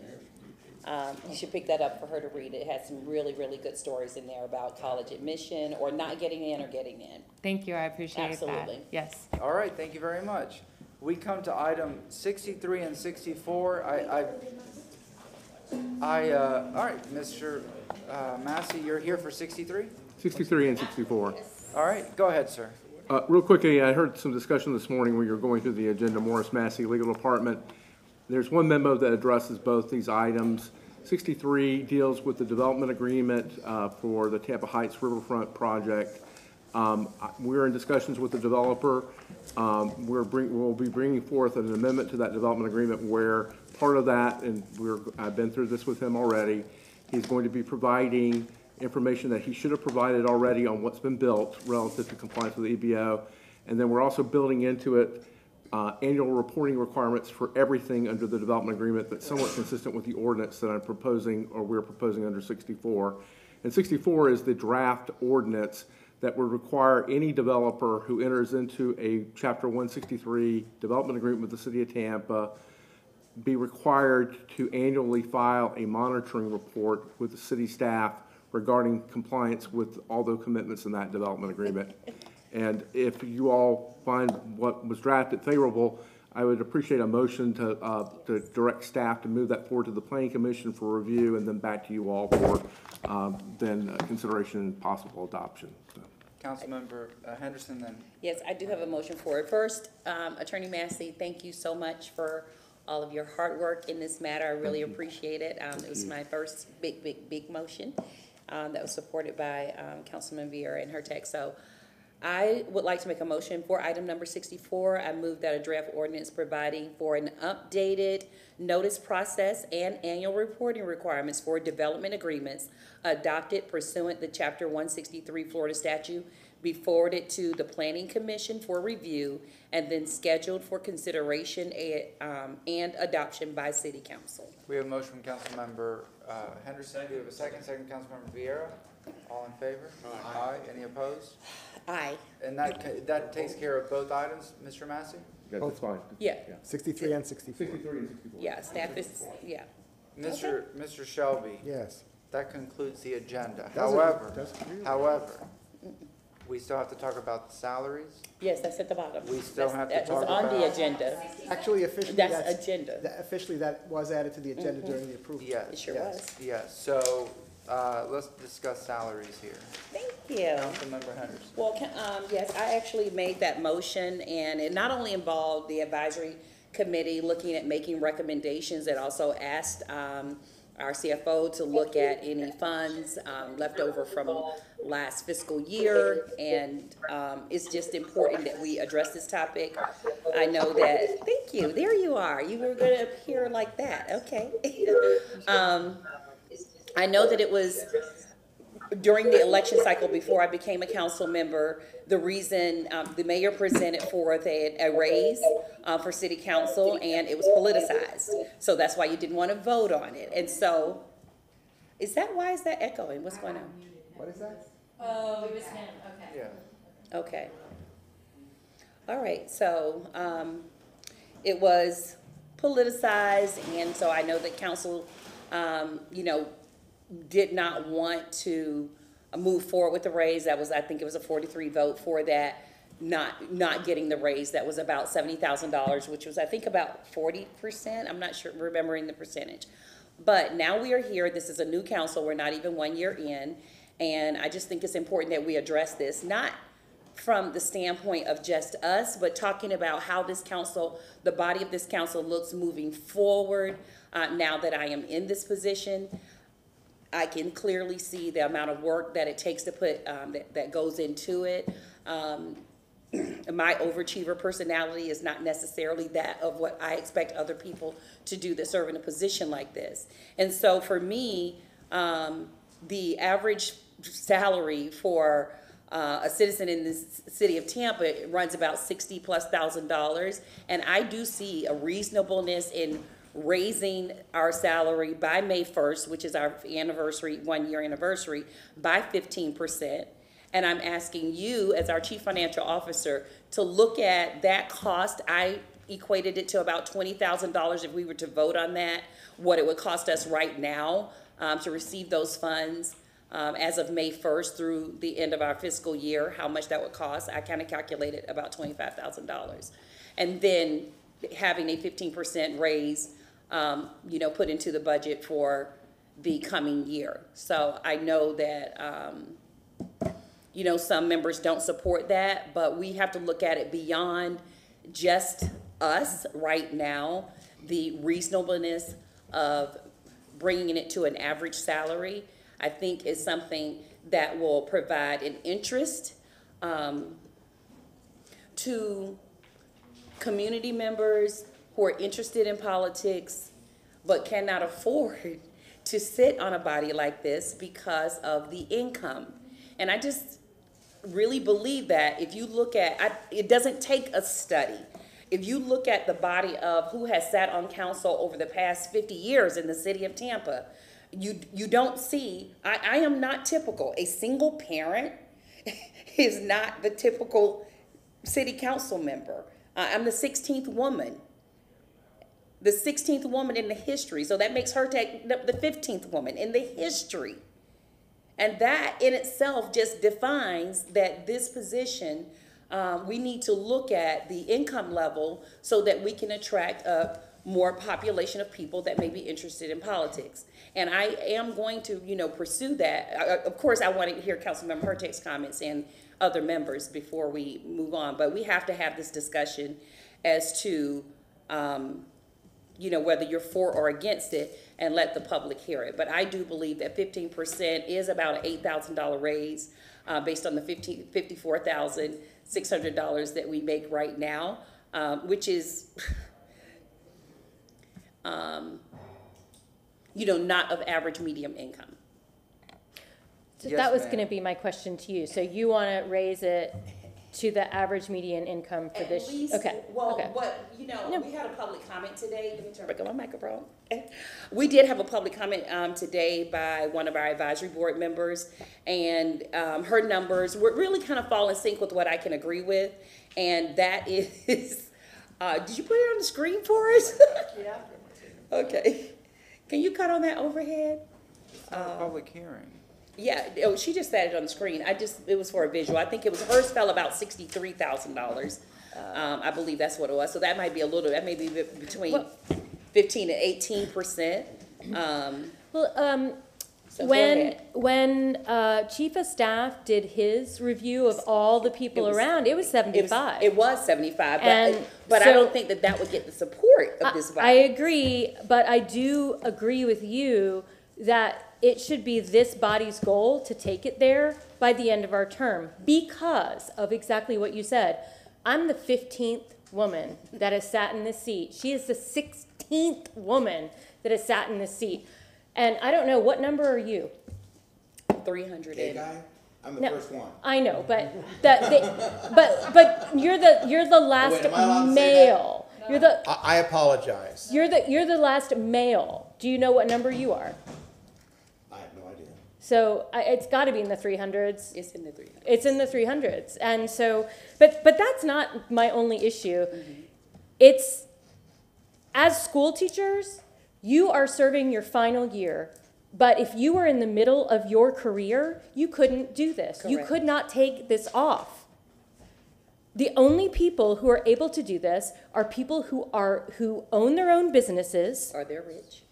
Or they're wealthy enough to do it. Yeah. But generally speaking, those of us um, who are on here, we own our own businesses. I took a serious pay cut to do this, and I question that on a monthly basis. But um, I still love my job. But I, it's it's hard um, to to cut your salary so much. Um, but I, I want to see more women in this role. I want to see more young people in this role. I want to see, I, I just want to, when the next election cycle comes around, I just want to see a lot of different folk who don't normally get a chance to do this. Uh, I think this is a really exciting thing. The city is growing.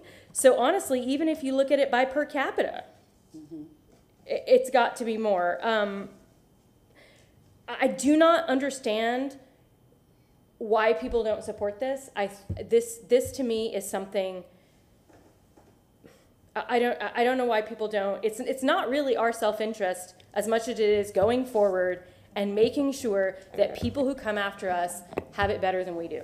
Councilmember Vieira, Councilmember Miranda, Councilmember Clendenin. Thank you very much. And, and I've always been very clear in my position, which is, um, I, I don't support for myself, giving myself, um, a pay increase above inflation for this year, uh, before an election. Uh, if we're talking about the next city council and, uh, people that will come after us, I'm not just open to that, I'm supportive of the idea. You gotta obviously look at the specifics, but I am supportive of that, uh, for future councils. Uh, for myself, I, I don't support, uh, something that is above, um, inflation, uh, year by year. Um, I, I just don't. I tried to have a, uh, an ordinance, uh, that would have mandated that, much like the twenty-seventh Amendment. And, and by the way, I, I, I do want to say this, because, uh, uh, Councilwoman Henderson mentioned this, that this issue was unfortunately politicized, and that's a shame. Uh, th- that's, uh, that's a real shame. Uh, so again, when I make my comments, it's not pointing fingers at anybody, it's not setting something up for some future ad or something obnoxious like that. Just my principle that I've always stuck to. I think that those, again, beyond an inflation adjustment, at, before an election, or after an election, you ought to wait till the next election. Um, so if this is brought back, let's say in twenty-six for entering council members in twenty-seven, I, I, I think that's very reasonable, and that's something that I think people in Tampa can support, and I certainly can support that. So on, on the principle of future councils and bringing in more people, very supportive. But for us right now, I, I respectfully cannot support that. Councilmember, uh, Miranda, then Councilmember. I'm just gonna talk that, uh, A, whatever politicized means doesn't bother me one bit. Your microphone. Uh, it doesn't bother me one bit, whatever the word politicized means. Uh, and I've got a salary here from nineteen seventy-four through now. And, uh, however, there was rumored that some council members, and I don't know who, don't care to know, wanted sixty percent of the mayor's salary to be the council salary. That's totally out of range. When you did a study, I didn't do the study, somebody did a study, and it showed that St. Pete, Orlando, Tampa, and Miami had their salaries. If my mind serves me correct, because the mine's eighty-three years old, the body is old, but the mind is real sharp in this case. It was within two or three thousand dollars of each city's raises. Salary, I should say, not raises. So I'm not opposed to a raise. I'm opposed to getting a raise higher than the inflation rate or higher than the general, general employees, not department heads, than the salary. We are, got elected to serve the general employees and the public of the city of Tampa. The public of the city of Tampa does not get a 10, 15, 20% raise, ever, that I know of. Those are the guys and ladies that are working their butts off so that they can feed their kids. So I am not going to vote for a sixty percent raise. I can tell you that nineteen seventy-four, the annual salary of the council was ninety-six hundred dollars a year. I can also tell you that in that board there, there was about four or five of us that had just daily jobs. There were one or two that were professional or business owners. I can tell you that the other council members that I served with, at least half of them were just like you and I. They didn't have anything but a regular job, and their wife or, in other cases, the husband also worked. So let me go down the chain so we understand where we're at. From ninety-six, I mean, from seventy-four and eighty-one, it changed to fourteen thousand, it stayed fourteen thousand, eighty-one through eighty-three, eighty-seven, it went to 18, 88 you got a little raise, 19, 928, nineteen, it went down, adjusted monthly, in two thousand and, uh, nineteen ninety-three, it went down. In two thousand and ninety-three, it went up uh, about four hundred dollars from nineteen thousand to nine, nine twenty-eight. And two thousand, uh, excuse me, nineteen ninety-five, it went to twenty-five, two, nineteen ninety-nine went to two thousand seven fifty. It went up to twenty-six thousand five hundred and twenty in two thousand and twenty-one, twenty-seven thousand three sixteen sixty. In two thousand and two, twenty-eight thousand one twenty-one sixty. So it has been going up, just like the employment did for all the general employees in the city. So we were not status quo. 2003, 28,974, and 2004, 29,848. So it went up again a little over $1,200. In 2005, $30,740.40. In 2006, $31,657.60. In 2007, $40,248. So it has been going up according to the inflation rate or the general employees. However, from 2008, there was no increase for council and no increase on council until 2014. And you know why? Because we were in a recession. Mm. We had to let go 758 employees. The Iorio administration never had time to do things she wanted to do, and she did take care of the city by doing things she had to do. And there's a vast difference when you do in anybody's work table that you want to do something and you can't do it, and you have to retract on what you want to do, change your mode, and make sure you save the city. And that's exactly what she did. In 2014, salary went from 41,246 to 2014 to 42,070 $78.40, 2015, 43,139. So there has been increments increases, and I'm about finished. In 2016, 43,576, 2017, 44,886, 2018, 46,238, 2019, 47,632, and 2020, 49,000, 21, 50,544, 22, $52,062. So there has been increases on council salary. Problem is, we don't want to recognize what was done with the study of St. Pete, Orlando, Miami, and so forth. And, and I can question me all you want, but here's a record if you want it. I don't know what the salaries are now in Orlando. I know the mayor's in a heap of trouble in, in, in Miami. Coun- uh, Councilmember Clendenin. Yeah, um, interesting. One, I believe John Bennett, our chief of staff, did a salary study. Um, and that salary study did take into account not just those three other areas. I look at this a little differently. Um, and I, and I respect my two councilmen at the, at the end of the dais of, uh, on their opinions on this. But I, I come at it from a different perspective. I think in our, in our, in our society, we, we pay people, um, for various reasons. You know, uh, you know, actors and football players get paid a ridiculous amount of money because of the income that they bring in and what they generate. Um, other folks, including our, our wonderful city employees, because of the, the, the work that they do every day and, and, and the service that they provide to the city, we compensate. Um, I, I'd like to highlight a couple of things. One, somebody remind me, how much do our, our assistants make? Um, ninety-five thousand Uh, dollars? So the the folks that, that, our assistants that work for us make ninety-five thousand dollars a year. Uh, or more, um, or more. Um, because they've gotten incremental raises as well, that was like the the floor. So, um, we've, I, I'm, I'm of the ilk, again, you, you compensate based on either, you know, what income you're bringing in or the work that's being performed.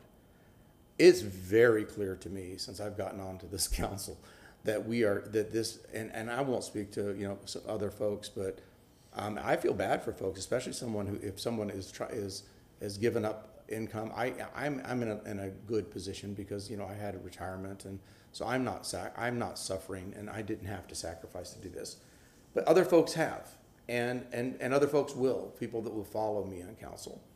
And, you know, it's, it, again, you compensate people for what they do. This is not a part-time job.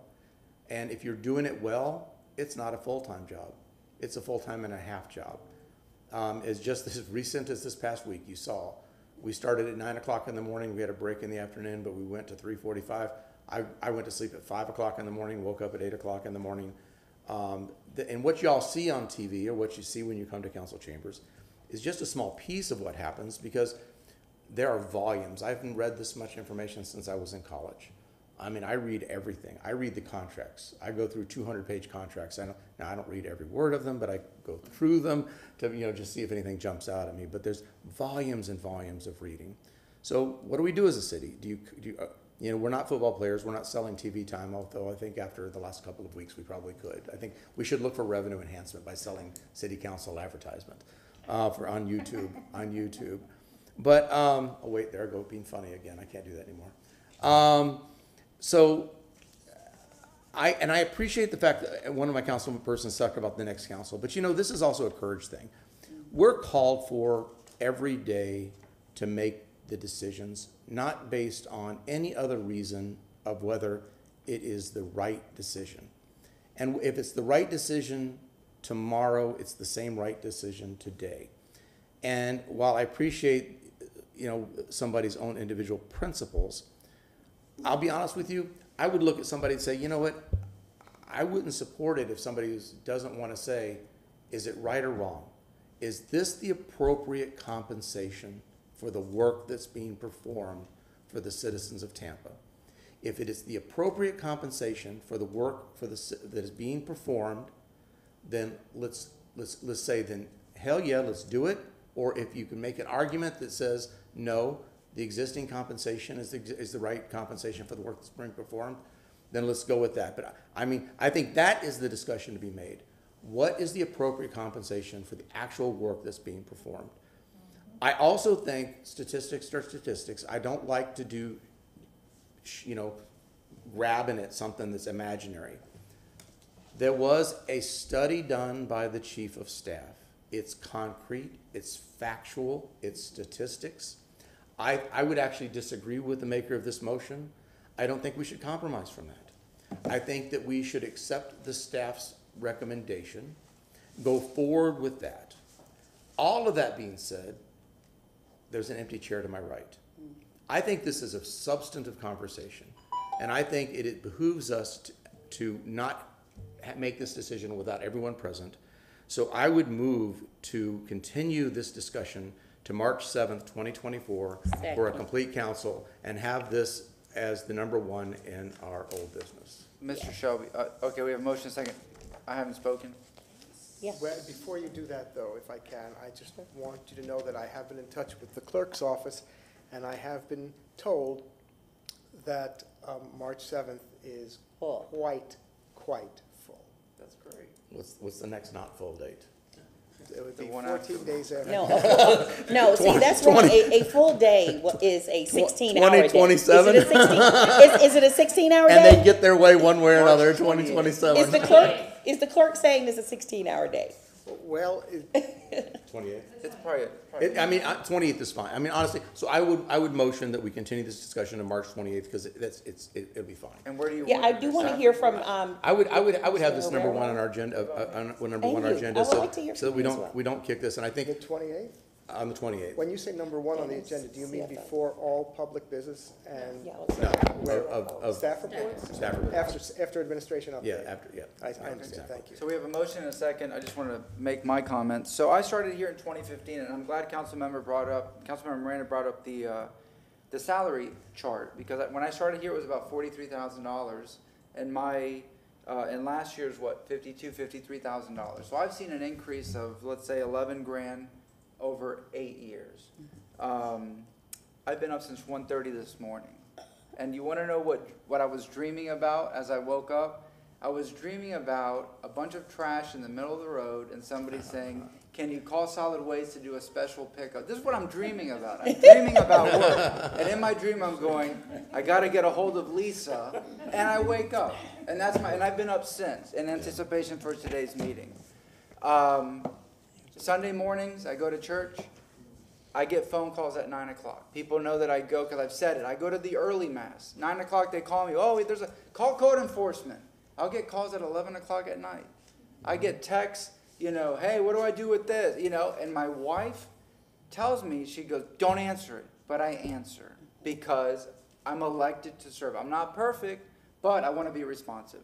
She goes, you're off the clock. You know, people work nine to five, but this isn't a nine to five job. Uh, we were here to, till almost four in the morning the other day. I got home. I think I slept 45 minutes, and I had to get up at 6:30 to take my youngest stepdaughter to school. And I was back here. I walk in, and the security guard goes, "What are you doing here? What are you doing here?" And the and the Citizens Budget Board is meeting, and you know, and Mr. Shelby is here. I don't know how he does it. I serve on the city council. I serve on the CRA, like we all do. I'm on the Tampa Theater Board, the Straz Board. I've been on the TPO for nine years. Um, I'm on the what, Museum of Art, the, you know, so many boards, so many, and I wish I could serve on more boards because I love this job. This is not a part-time job. You know, some people have approached my mother and they say, oh, your son only works on Thursdays. Well, why do you, you never see my son? Because my son, she says, is somewhere. Then there's the neighborhood meetings, then there's meetings after work, then there's events. The events are, are the good part, but other than that, it's, it's a lot of work. Um, I've voted against salary increases, I think, since the beginning. I've been criticized for it, I've been praised for it, whatever. Uh, I've had discussions with my, my wife about it. Um, one thing that did, that, that Councilmember Miranda brought up was in 2008 to 2014, there was a recession, and we laid off a lot of people. And Mayor Iorio, and I give her credit because she did a great job. She made a lot of tough decisions.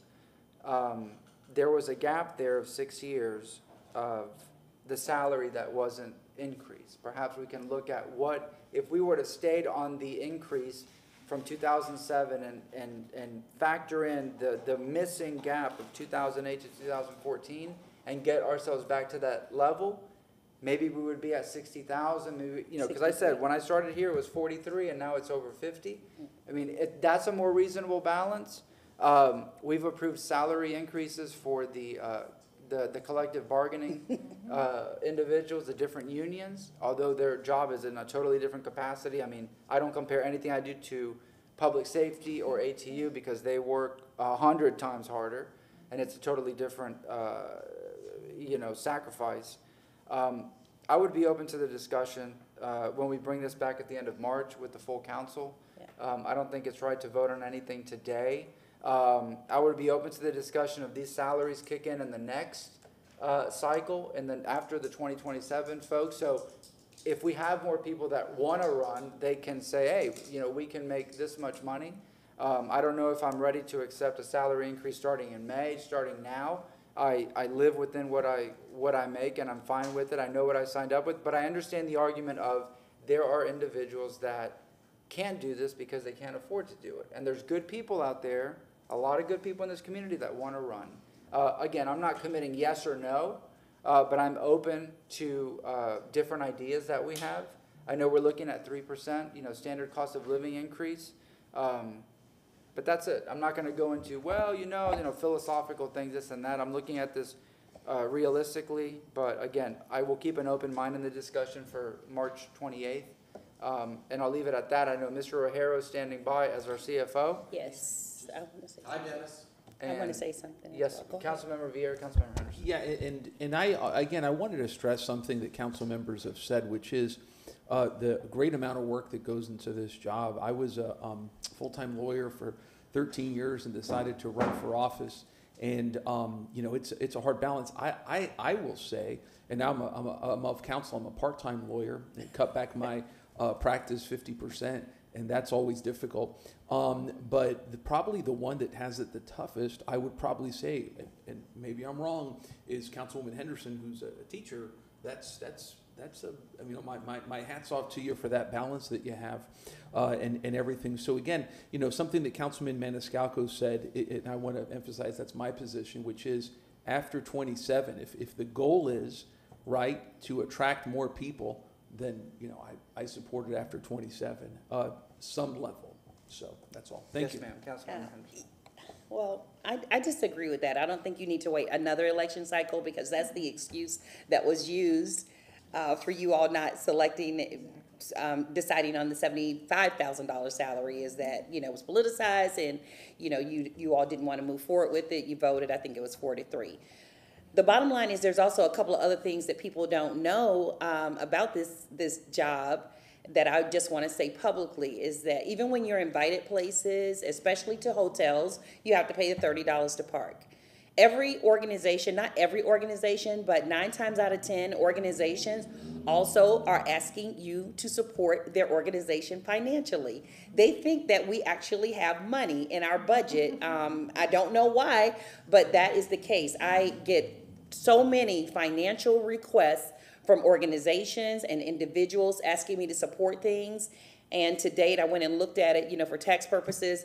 Um, you know, I've given out about four thousand dollars. Um, you know, based on things that I was invited to as the councilwoman. I've raised my paddle. I've donated funds. So we're even asked, um, and I was with some council members, and they say, no, you don't have to do that. Our presence is what's important, and that may be true. But I did feel compelled because I believe in these organizations to support them. I pay for parking. I have to find something to wear and figure it out. So there are a lot of different other things that factor into this. We can't be afraid um, to give ourselves a raise. The Florida, Florida State of Representatives, you know why they stay at twenty-five thousand dollars a year? Is because you, one of the primary reasons why they do it is because they want to keep it pigeonholed that only the rich can afford to serve in our Florida House of Representatives. If you are at that level, making twenty-five thousand dollars a year, tra- traveling back and forth to city, um, to, to, to, um, to the great city of Tallahassee, um, it is a huge sacrifice. And there are people that I know, I've asked them, they are in law, they practice, they, they, they only have been reduced to a certain amount of billable hours because of the nature of the job. So it is a huge public service sacrifice and it doesn't have to be. The quality of the work that you receive when you hear us saying that we, yes, we read your emails, we read, we prepare with staff, we have meetings, we also participate with the public, we go to these events really the study of bringing us to $75,000 is just really what it's saying is that, you know what? What we're paying you, you're actually behind. So asking for the raise right now is just bringing you to the present. And you can't be afraid to do that. No one is going to hold, well, I'm, I can't speak for the entire public, but I just don't think that we should be afraid to take that step.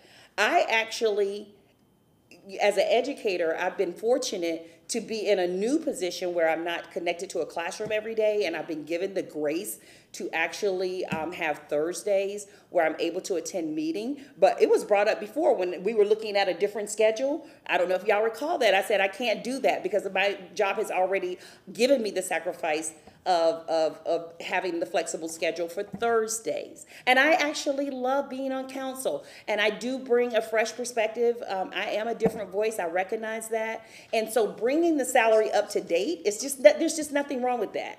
There's just nothing wrong with that. There is a reason why there's only been 16 women on council. Only 16. I'm number 16. There's a reason behind that. There's a reason why you may not see the diversity in not just in, in age, but in in in in in, in, in a variety of ways. Um, economic background. You know, all, all of us, I think, have a college degree. You know, that's not necessarily a requirement for council, but we are professionals in our own right, and even just that alone the fact that we actually are college educated definitely lets you know that we are behind the mark when it comes to a salary. So I do look forward to, you know, continuing the conversation and I appreciate us being very transparent about it and speaking in front of the camera so that the public can hear what we have to say. Thank you very much. Councilmember Clendenin, you had a question for Mr. over Rogero? Miss- Mr. Rogero, can you hear me?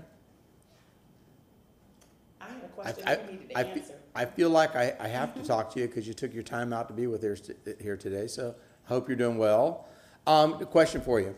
If, if this council on, um, what did we say, March twenty-eighth, is that I, what? I it- I apologize. Yes, I can hear you. I couldn't uh, Okay, get good. off mute. If uh, this council on March 28th elected to implement uh, the chief of staff's proposal that he had brought forth before, um, would the current budget accommodate that? And, and uh, just to clarify, the, uh, is that the seventy-five thousand dollar salary? I, I I don't even remember. what- fifteen percent earlier, I asked him to calculate But, but I, I mean, but I, I still, I still go with the fact that we have a, we have a statistical analysis prepared by an independent party, um, and I think that that, I think that's a hard document that we can go with. Um, That just makes And- sense to me. So let's say that is the ceiling. If that, w- if that proposal, because that's the, wor- that's the best or worst case scenario, depending on which side of this argument you're on. Uh, if that was to pass this council, would the city, the twenty twenty-four fiscal year budget accommodate that? Yes, we could accommodate that. Thank you. Appreciate it. I hope you have a beautiful weekend. Councilmember Henderson, you had a question? Councilmember Yeah, Moreno? I asked him a similar question, so he answered it even based on, uh, yes. Just based on, um, Councilman Clen- um, question, he answered it for me as well, so, because my amount was lower. Thank Councilmember you. Miranda. You're welcome, Council. Hundred thousand dollar salary. The budget. I'm buying drinks tonight. No, no, I wanna know, you woke up to buying, would it accommodate a hundred thousand dollar salary? The answer is gonna be yes. Dennis? Mr. Rogero, would it accommodate? Yes, I, I, I apologize. The specific question? Mr. Rogero, would the budget accommodate a one hundred thousand dollar salary? Yes. Thank you very much. All right, anything else? If not, all right, we're gonna revisit this March twenty-eighth under staff reports. We Oh, all in favor? Aye. Aye. Any opposed? All right, so this is a discussion, no formal action, a discussion on March twentieth when we have a full council. Thank you very much. Can Um, I ask you, Mr. Chairman? Yes, I believe part of that motion was to have this first under staff. reports. yeah, right under administration My question update. to you Yes. um, is how much time do you anticipate putting towards that? Because Thirty minutes. no more than? Yeah, I think thirty minutes is good. We've heard what we have to say about We're it. gonna, we're gonna throw down the opponents and beat them up between now and March twenty-eighth, so. There are no, there are no opponents, Mr. Chairman. Correct. There are people who are more realistic than others. However, let me say this, if anything, if this, the only one's gonna help here is me. Because your retirement's based on your salary for the last five years, times one and a half. So there's no, and it, it just, so that, let me just say that for the record. Thank you very much, y'all have a nice day. Thank you very much. And thank you for your data. Mr. Mr. Shelby, Yes. that concludes the agenda. Yes. But I have, I have a a memo from um, Mr. Martin Shelby. Yes. Um, Now, this is uh, regarding uh, s- staff reports and unfinished business. You would like to add this item to the March 28th agenda, is that correct? Yes, and the legal department has prepared a motion if somebody's willing to read that and second Okay. and then vote. Councilmember Henderson? Wait, Uh, wait, Before we go, Go, sorry, before you Yeah. move on. Councilmember Well, Henderson? let- why don't, why don't we wait for the motion to be on the floor? right, okay. She'll, she'll read it. Uh, motion to add to the March twenty-eighth, twenty twenty-four City Council regular session, session agenda under staff reports and unfinished business pursuant to ordinance number twenty twenty-three one six seven, consideration of the request made by former council, city council member Orlando Gudes for reimbursement of attorney's fees and costs associated with the lawsuit captioned LS through her parents SH and SH individually versus Orlando Gudes, case number twenty-two CA four zero five one. Second. We have a motion from Councilmember Hurtak, second from Councilmember Clendenin, and we go to Councilmember Henderson. Thank you, Chair. Um, I have completed my first Form 8B. I am going to um, abstain to avoid the appearance of a potential conflict of interest where a relative is associated with this case. We have a, okay, let's take a motion to receive and file. Uh, That's my first one. Motion to receive and file from Councilmember uh, Henderson, second from Councilmember Viera. Wait, all in favor? Aye. Aye. So we, now we vote on bringing this back on March twenty-eighth. Yes. And I get to leave. You don't have to leave. Right now, It's only no. take- It's only gonna take a minute, a second. We have a motion from Councilmember Hurtak, we have a second from Councilmember Clendenin, yes, I, Councilmember I Viera? remember March twenty-eighth, just since we're gonna have one council member missing, just in case that I'm gonna have to miss part of the morning council that day, so just, I mean, I, it'll This be will be staff under staff reports. Okay, oh, I just say that just in case. you Who's never know. missing out? Okay. All in favor? Aye. Any opposed?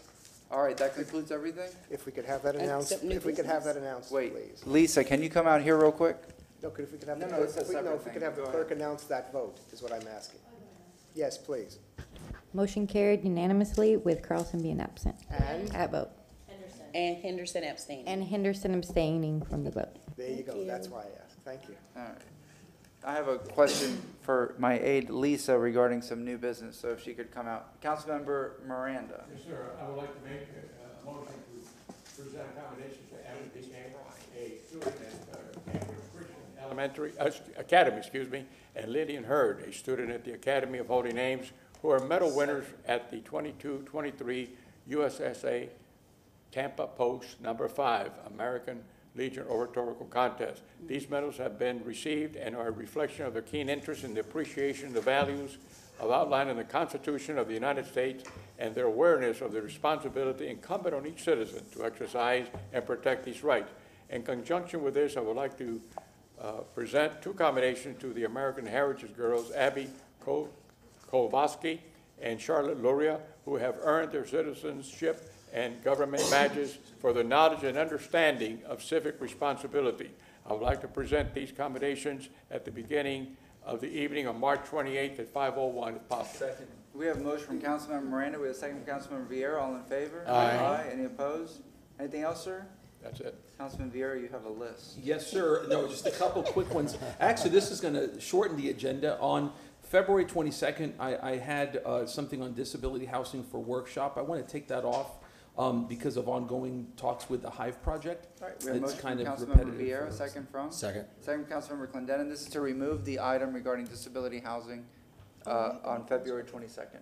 All in favor? Aye. Any opposed? Yes, sir? Yes, sir. Then quickly, if I may, um, ha- ma- many of us know the uh, Boone family. Yes. Uh, The late um, Harrison, uh, who was uh, killed in Ybor City. And I, I, before uh, that, that terrible tragedy, I had come into contact with the family. I, I spoke at uh, the late Harrison's um, graduation at Pepin Academy, uh, where he was a very, very proud graduate. Um, God rest his soul.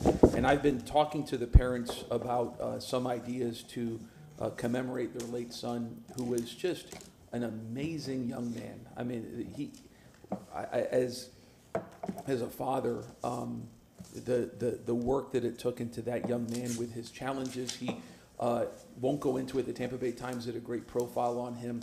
Uh, he had special needs, and um, just everything those, those parents and that family had went into him.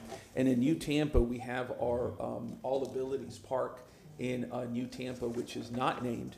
Um, and I want to ask uh, the administration for consideration of uh, renaming that park or naming that park um, after the late Harrison, and we can have that come back in time to give. And I see Mr. Massey uh, standing up. Uh, there may be some. Um, I think Yes, council sir. has a previously motion to, to kind of put a hiatus on renaming things until we have a And- discussion and about the so- naming process. Earmark that. That's what I was gonna say is, so when does that come back to us? Because if you remember when Councilwoman Henderson made that motion, I I, did say that that one, you knew you were gonna do that one. well, yeah, because I, you wanna, you know, talk with, um, the families, et cetera, on that issue. And, um, and, uh, yeah, so when, when does that come back? Uh, if you know, Mr. Massey or Mr. Shelby? The clerk may know, I, th- I- I'm thinking it's April sometime Okay, that it comes so back. how about this? I'll, I'll, I'll have it come back to us in June, um, after that, after we uh, dedicate, or deal with that, and then if I have to delay it more, um, so that we can have that discussion, that's fine, and it's just for consideration. We have a motion from Councilmember Viera. Let me look at the June dates here.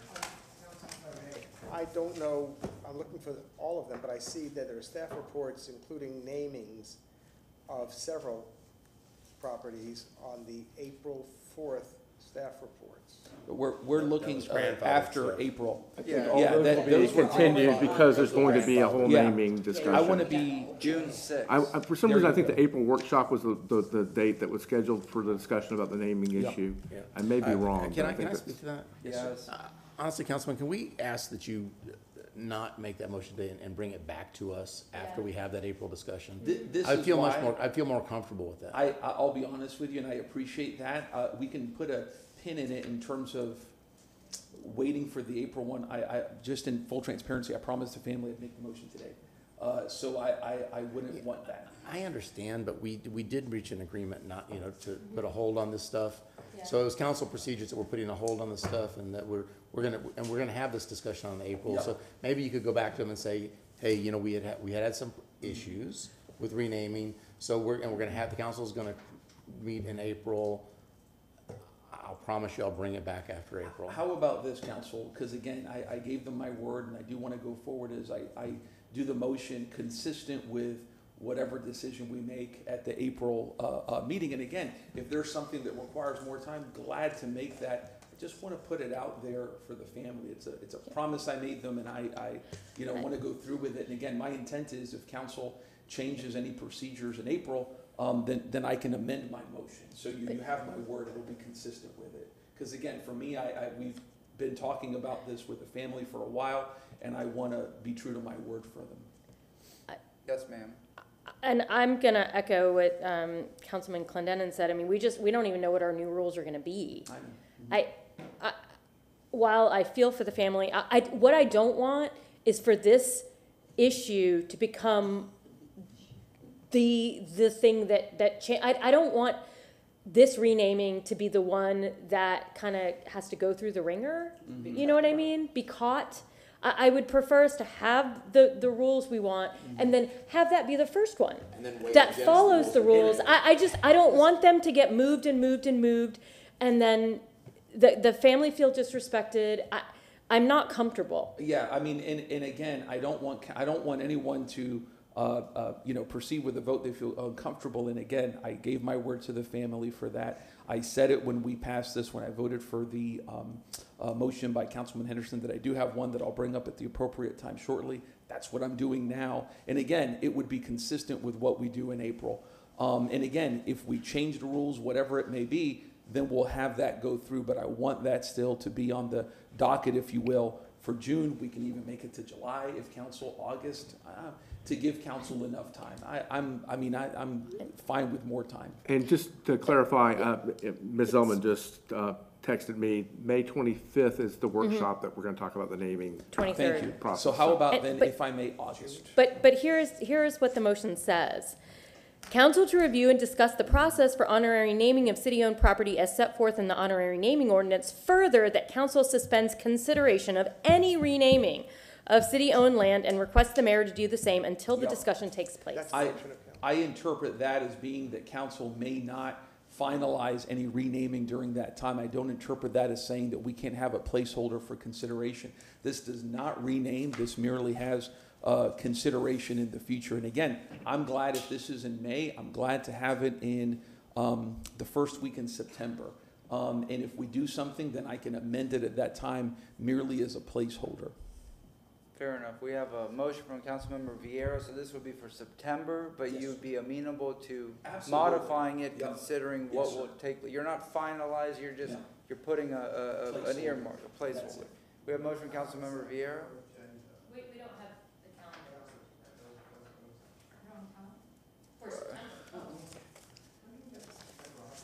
How about, where does it, what's the latest it goes to?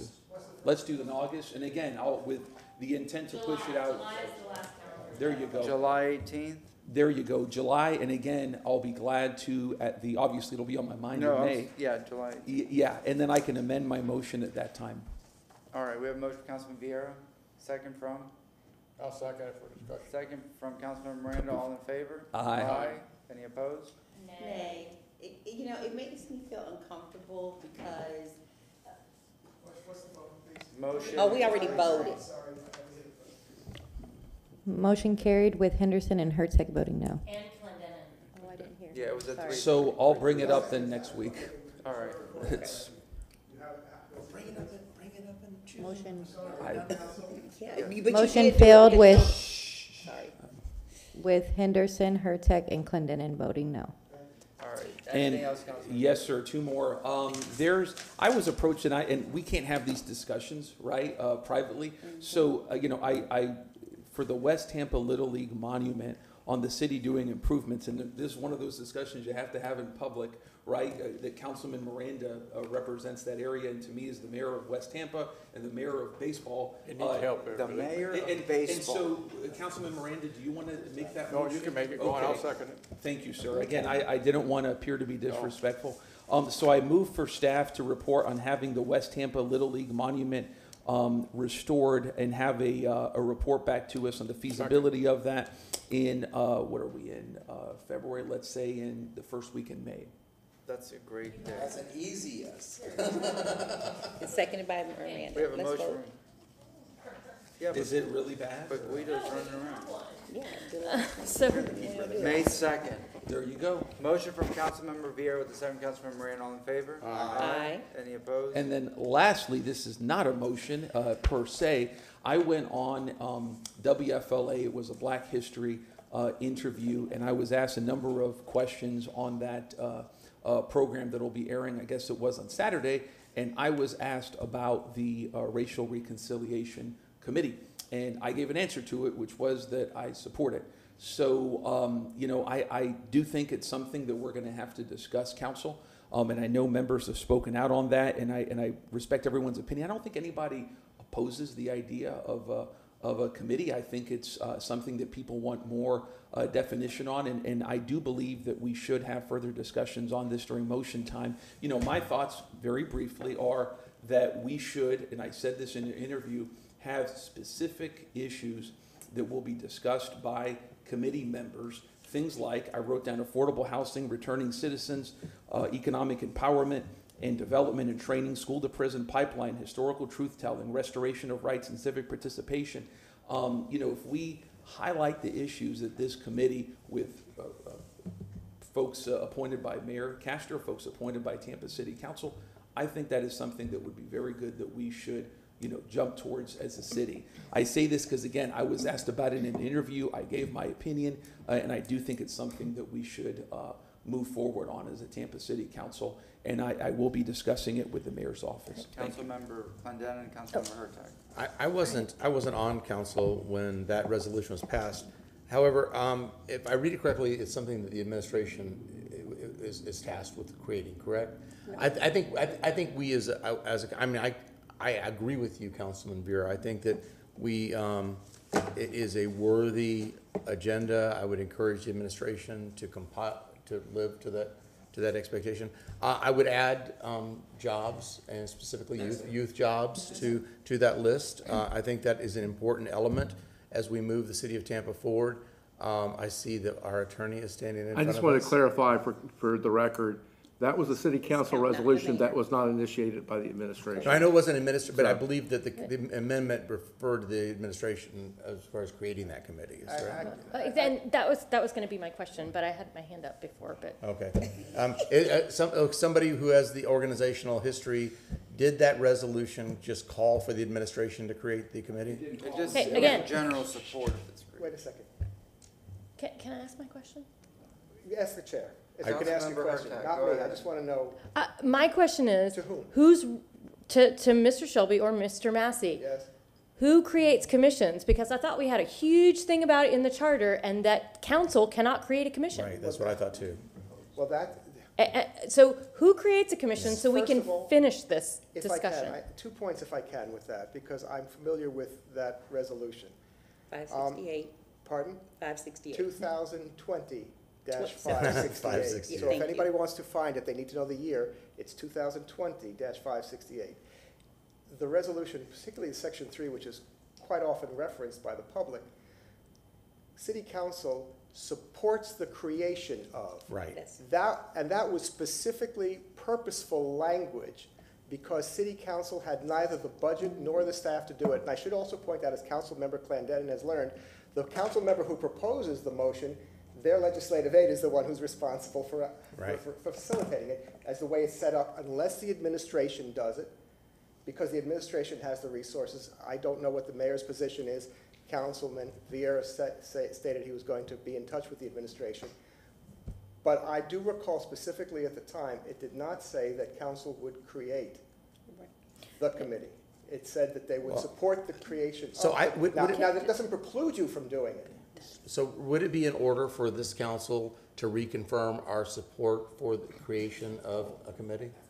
Eh, Again, the question is, who creates committees? Can someone please We- just? we don't. We And that, can't. that's what I thought, but again, we can't. can I, can we just get some clarification on who can create a I committee? I think what the charter provides is that committees can be created by city council resolution with the approval of the mayor. So it requires Okay. both parties really to do So that then, in this then I case. would suggest you reach out to the administration to see if that's something they'd be willing to do. Thank you very much, thank you very much. Anything else? And council, I mean, let me ask you all, do you want me to make a motion as a formal request to the mayor on the issues I've just brought Wait for all forward? seven of us to be here. You said it was not a motion, it was just. Yeah. I'm Just- asking that because he seemed to No. have some support. Let's wait for a full council. Okay. Yeah. Uh, And, and again, to be clear, my, the issues I talked about were, just for the, the record with administration, affordable housing, returning citizens, economic empowerment, development, school to prison pipeline for our youth, historical truth-telling and restoration of rights and civic participation. And jobs, specifically youth jobs. And that's under school to prison. May I, may I ask Yeah. a question? Because this, you raises a, you raise an interesting thing, because you make reference to Resolution two thousand twenty five sixty-eight. Mm-hmm. That resolution specifically talks about certain things that the council mm-hmm. put in And writing why that I think I- may be different, or, but what I'm saying to you is that that may be in conflict or in, in addition to. And, and Mr. Shelby, I appreciate that, but that's why I made my motion. So yes, that's why, or strike that, that's why I gave the language. So I appreciate your thoughts, but I did that for a reason. Thank you very much. Councilmember Henderson, do you have new business? Yes, uh, well, I, I want to comment on this, um, um, this very, very, very tough and challenging, um, resolution. Are we going to reckon with the history of racism is the question. Um, this was done September 2020, 41 months ago. And it took, uh, to last week, last week became the very first time this council actually said something about it since signing the resolution 41 months ago because I did say something under, you know, when it was my turn under not new, yeah, under new business, is this what this section part is called? Yes. And so I just want you all to be very mindful that, you know, You've put a pin in it for 41 months. It is a very, very challenging topic. It requires a lot of expertise. And so a, a blanket committee um, where we decide on who those folks are going to be, I just think you, I think you need to take a lot of things into consideration when you even decide if we are going to adopt a committee and have the mayor sign off on it, that you got to take a lot of things into consideration. So start doing your research because there's a lot of things out there about reparations and, and, and racism and how we go about handling this. I'm just, um, you know, not okay with it in terms of, um, how we go about sanitizing history and putting a pin on it and naming out a few things and thinking that we, this body, has the expertise to solve those problems or to appoint people to solve those problems. It is a very complex situation. On to the new business, I actually would like to, um, just a couple of things. I would like to, um, do one of my rare commendations for, um, the Women's History Committee. I would like to provide a commendation to them for their twenty-seventh Annual Women's History Month celebration on March fifth. Second. Thank you. All in favor? Aye. Aye. Any Okay. opposed? Anyone, no one opposed to Women's History Month, that's next month. Okay, so, um, also, I would just like to recognize, um, here in Hillsborough County Public Schools, the, um, results have come out for the state of Florida for the best high schools.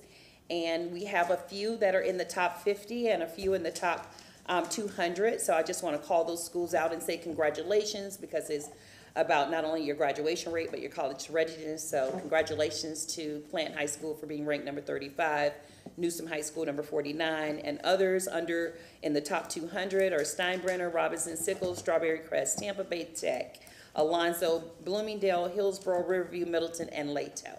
So there are some people that need to get to work, and their colors are blue and gold. So that is the other thing. And then lastly, um, this weekend, there is a, um, there, there is the Gasparilla Music Festival as, as well as the Black Love Play at the Tampa Theater. And, um, that is something, you know, um, that you, um, the community can take into consideration in supporting. Other than that, thank you very much. Thank you very much. Um, I made a motion the other day, but I didn't clarify the Wait, date. wait, wait. The- The Chair Pro Tem recognizes Chairman Maniscalco. Thank you very much. Thank you. That was very professional. Yes, thank Um, I'd like to amend uh, a motion that I made to give the accommodation to Tampa Pride. The date was for March seventh. Second. Okay, we have a motion from Chairman Maniscalco, a second from Chairman, uh, Councilman Miranda, former Chairman Miranda. All those in favor say aye. Aye. Opposed? Ayes have it. Thank you very much. That it? Oh, and a very happy early birthday to Mr. Martin Shelby. Happy birthday. It's in a couple of days. Councilmember Clendenin. I have nothing. Councilmember Hurtak. Thank you. Uh, I motion to have uh, mobility staff send a memo to, to council members outlining the city's transportation improvement plan, better known as TIP priorities, before they are sent to the Transportation Planning Organization, the TPO, staff in March. Second. We have a motion from Councilmember Clin, uh, Hurtak, second from Councilmember Miranda, all in favor? Uh, and that's really because as transportation becomes an issue, I really want all of us to have knowledge about what's going into it. Some of us sit on HART, some of us sit on TPO. Let's start to have these conversations. Um, and I was gonna ask for a motion for a vote, but I think this is a good start, and maybe next year we can bring up, um, motions for votes. Uh, so this motion will make further discussion of mobility pri- priorities unnecessary at this time. So I motion to remove the staff report from the, the February twenty-second workshop uh, agenda that I made in July of 2023, that staff to have a discussion on mobility needs and priorities. We have a motion from Councilmember Hurtak, second from Councilmember Clendenin, all in favor? Aye. Any opposed? And the six pilot project uh, are, is done. So I motion to have staff uh, give a brief five-minute report on the results of the six pilot project on May 16th, 2024. We have a motion from Councilmember Hurtak, second from Councilmember Clendenin, all in favor? Aye. Anything else? Nope. Councilmember Carlson? Nope. Motion to receive and file? Yes? Wait, wait, wait, wait, wait. Yes? Yes, Councilmember Hurtak? I was just gonna say, um, we, I, I think I can speak for all of us when I send best wishes to Councilmember Carlson. Hope he feels better soon. Thank you very much. Yes, I'll second that. Councilmember, uh, Mr. Shelby. Thank you. Martin Shelby, City Council Attorney. Uh, An email came in that was brought to my attention about, uh, oh, about an hour, hour or so ago. An invitation to a community meeting that's being held on March 6th at 5:30 B- PM at Hyde House Gallery in Hyde Park Village. It uh, involves um, a vision for Willow Avenue between Platt and Swann, and it turns out that in attendance will be those from City of Tampa Mobility, TECO, THEA, Hillsborough Planning Commission, uh, I guess ARC, so uh, would be there, and other attendees. And it says the meeting, um, the gentleman who sent this, the meeting will introduce a vision of this area of the city that works into plans being implemented or finalized by Mobility, THEA, TECO, or other entities. And I suspect that somewhere in that process, city council is a necessary partner, one would think, I don't know. But the question is, can city council attend? And I- if the answer to that, I would think, would be yes, my suggestion is you just please be mindful that if it's something that could reasonably come before a city council, that you do not engage in discussion amongst yourselves or in public with each other, and you remain mindful of the uh, requirements of the Sunshine Law. But certainly, if this is something that involves all these entities, including mobility, my sense is that it also will involve city council. Let's Thank have a you. long discussion. I, Councilmember I, I- yeah, I have a question, because I'm confused. I was looking at our monitor, it says February fifteenth, twenty twenty-four, four colon, five eight, and then there's a letter that I'm not used to seeing. It says PM and not AM. Is that a typo? Because we're, re- we're, we're leaving city council at, at, fo- it's not four fifty-nine AM in the morning? Is that? I wish it were. Okay. But if you have, I'm sorry, that's a joke. I- Well- I'm sorry, that, that's a, that, that's a We have a joke. motion I'm to not- receive and I'm from not- Councilmember Miranda. I don't think have I'm a allowed to second? joke Do we have anymore. a Second. Second from Councilmember Clendenin, all in favor? Aye, we are adjourned. and if they're a night meeting council member, you'd be starting in one minute.